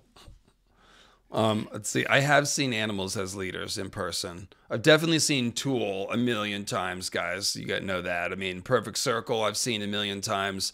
I had a crazy romantic experience with a girl when I was like 20 at a Perfect Circle show. That was crazy. I'll never forget that. I've seen Puscifer a bunch of times, including recently. Um, let's yeah. see. Uh, I saw GZA, the GZA in a small club. That was incredible. Um, I've seen Qbert. If you guys know Qbert, the DJ is like a super pioneering, crazy scratch DJ. I saw him in a small club. That was only like a 40 minute show. That was mind blowing. Um, yeah. I've seen thing, all kinds of DJs, obviously. Yeah. I'm ashamed that well, not ashamed. It's it's it's beyond my control, but that I'll never get to experience CBGBs because it closed before my time. Closed when I was like too young to appreciate it. yeah, no, Carl Carson, I, I can't, I can't give all the details. It was just, it was, I was out of town, so it was one of those, you know, romances that you have over the course of a week, and like, the concert was the tipping point. Like, the perfect circle music is just, yeah. If you take a date to a concert like that, it's over. You know, that's all I'll say about yeah. that. Just like the, like the guy who's like, oh, I got my mom got pregnant after the Smashing Pumpkins show. It's same principle. Only yeah, no children be, were created. Thank thank the Lord. Um, Kelly Johnson nice. did have one ice and fire question that he threw in. Okay. and okay. he was asking if Robb survived instead of Jon and had to fight the War of the Dawn alongside Dany, how would that be different? Um, the reason why Robb is dead and Jon is not, and the reason why Dany was not born as a heiress of House Targaryen, but rather as a refugee and a slave, is because George likes redeemed, broken heroes. And he's making a statement about privilege. He's saying only someone that has a certain perspective can be capable of a certain kind of leadership, perhaps, or a certain kind of self sacrifice. Robb is very confident and bold. You might even say entitled, even though he's noble kid trying to do his best he's like they put a crown on his head. He's like, yeah. I mean, they could have stopped the war when Ned died, but they kept up with it. Like, there's you can criticize Robb for sure. Jon is a different character. Jon is bold, but Jon also um, is has this outsider's perspective, and now he's gained the wildling perspective. Would would Robb have been able to do what Jon did north of the wall? Perhaps not. Different personality types. So it's hard to say what Robb would have done, but we can say that George is creating a certain kind of hero with Dany and Jon. So that's what I would say. Cripples, bastards, and broken things, right? Mm-hmm. Second sons, cast offs, former slaves, the weak the yeah. meek shall inherit the earth you know it's kind of like that the humble shall yeah that's why like as much as i like robb stark but the narrative called for him to die because our our heroic characters that will live are going to be the ones that in a society like this are the ones that are not meant to have that power women bastards well Jon's case bastard, but depends on how George approaches that. But you know, dwarves, crypt, uh, differently abled Bran. Like again, these are people that in in a real medieval feudal society would have been cast to the wayside, but they are among our most important figures here. Robb being the trueborn son of a lord. Great character, but he doesn't fit the mold of the meek inheriting the earth. He is the status quo. I saw um Korn did a family values tour. They had Limp Bizkit on there and System of a Down and Rammstein. And Rammstein got shut down because the singer came out with a black rubber phallus mm-hmm. basically taped onto the front of a pair of tan underwear.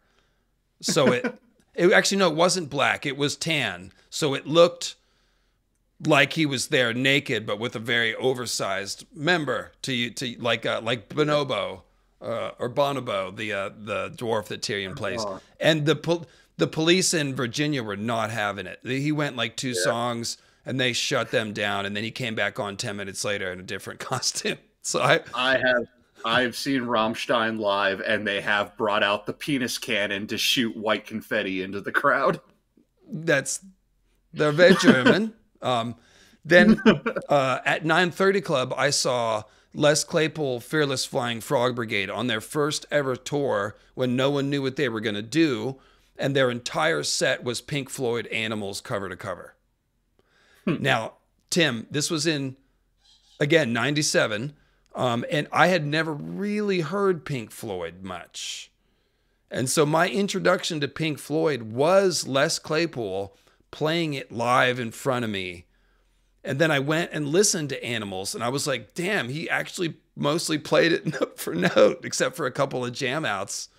And uh, so that was incredible. And I've seen yeah. Brigade a few times. Yes, the original 930 on H Street. I've been there at least 20 times. I've seen uh, just so many shows there. Like just yeah. I've never I've never seen Pink Floyd, obviously, because tickets to see Roger Waters are ungodly expensive. But I have seen Australian Pink Floyd come around. My me and my dad went to go see that. Uh, so City Slacker was at that show at 9:30, that Frog Brigade show. That's very cool. I have seen um, David Gilmour on his tour a few years ago brought everybody but Roger Waters right before um, Nick Wright died. Mm. The key, Nick Wright, that's the keyboard player, right? No, Nick Mason and Rick Wright. I get those names flipped around. Nick Mason is the drummer. Rick Wright is the keyboard player. Correct? I don't know. The keyboard player died. My dad would know. My the keyboard player died a few years ago, and Roger uh, Waters and Pink Floyd they never play together except for that one benefit concert they played four songs together. That is it. But I saw Nick Mason on drums. Yeah, Rick is keys. So yeah, Rick died shortly after playing the couple tours with Gilmour when Gilmour made a solo album on an island. So that was I basically got to see Pink Floyd without Roger Waters, and they played oh, okay. a lot of their hits. And it was in Oakland at the Paramount Theater. That was that was something else. That was amazing. I've never seen Waters though. Um, he's tours a lot. I've never seen him. Yeah. So anyway, that was fun. Concert time with uh, Dave and Tim. Yeah, it was a short stream, so we had time to fill. short stream, only two and a half hours. It's kind of kind of puny. um, I've seen Buckethead. I've seen George Clinton. Um, oh, I saw Bootsy at the Independent in San Francisco, and Bootsy did something amazing. Bootsy came down into the crowd like Jesus. That's the only way I can put it. Is he came down into the crowd and just laid hands on people. He's talking about the hands of funk, and he's just walking around like laying hands, and everyone's just like dancing, and the rest of the band's playing. I've never seen anything like that. And this guy's in his 70s or maybe even 80 by now. I mean, he's very old. He's got another bass player. He only plays like the lead parts, you know, and does the singing. You know, he's freaking old. Um, but he's still doing his thing. And like, yeah, he came out and laid the hands of funk on the crowd. And it was like the funky Jesus, man. If he touched you, you had to dance twice as hard. You know what I mean? Like, that was something else. So yeah, God love Bootsy. And let's see. I saw Oysterhead I have not seen Phish, but I saw Oysterhead. Mm. And I've seen Dead and Company. I've seen Phil Lesh at Phil Lesh's club in Marin, uh, which is called, of course, um, Terrapin Station after the band. Um, so that was that was Phil and friends with some ridiculous musicians. I forget the names. I could think of it if I stopped and tried, but yeah, that was a cool. That was that was one of my best, probably my best dead experience because one of my best friends, of course, is a official deadhead. So yeah, right on, guys. Well, there it is. Tim, you got any got any one got any cappers? No, no one no one is good. I think I've mentioned uh, Bouncing Souls. I say would be the last good one that I saw. Um, my first concert ever though was Orgy and Sugar Ray. so I've seen Orgy on the Family Values tour. I've not seen Sugar Ray, but in high school. I had a little bit of blonde streaks in my hair, and everybody thought I looked like Sugar Ray, and I never got that haircut again. True story. uh, nothing against them. I just did. That's not what I was going for. So, uh, let's see who else. Who, what other? Um, yeah, the first the first two bands that I ever saw live do not reflect my current musical tastes. no, they yeah they they don't usually. Um, what was the first? I don't know what the first show I ever saw was, but it might have been Jethro Tull. It might have been my dad taking me to Jethro Tull or something. I don't know. But anyway, that was fun. So yeah, been watching you guys in the chat have fun too, sharing your concerts. So I look forward to yeah. some of those in the comments. I'm sure. oh no, the point wasn't to declare anyone the winner, and I obviously win. Also, come on, come on. I no, I'm just kidding. We're all winners when we go to see live music. That's the point.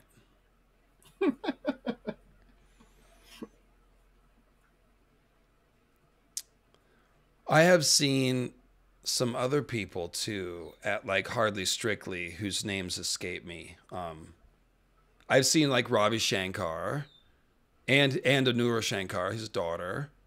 Um, I've seen whatever. We could always think of more, but I'm gonna go ahead and get the birds out. They're screaming at me. So cheers, guys, and uh, I'll see you, like I said, with a video this week, and I might do an extra live stream this week too. I don't know because we got a lot of chapters I want to read and other stuff we got to do. So Anoushka, did I? What did I say? I said Adura or something. Yeah, Anoushka, Anoushka Shankar. That's right. Cool. All right, guys. Psh. Thanks, Tim. Thanks for joining me. Oh, you guys follow Grey Waste, Tim. But yeah, this was fun, man. Appreciate it, dude. Yep. we had to cleanse the the Roose and Ramsay Jeyne Poole vibes with some just some classic music music woodshedding there.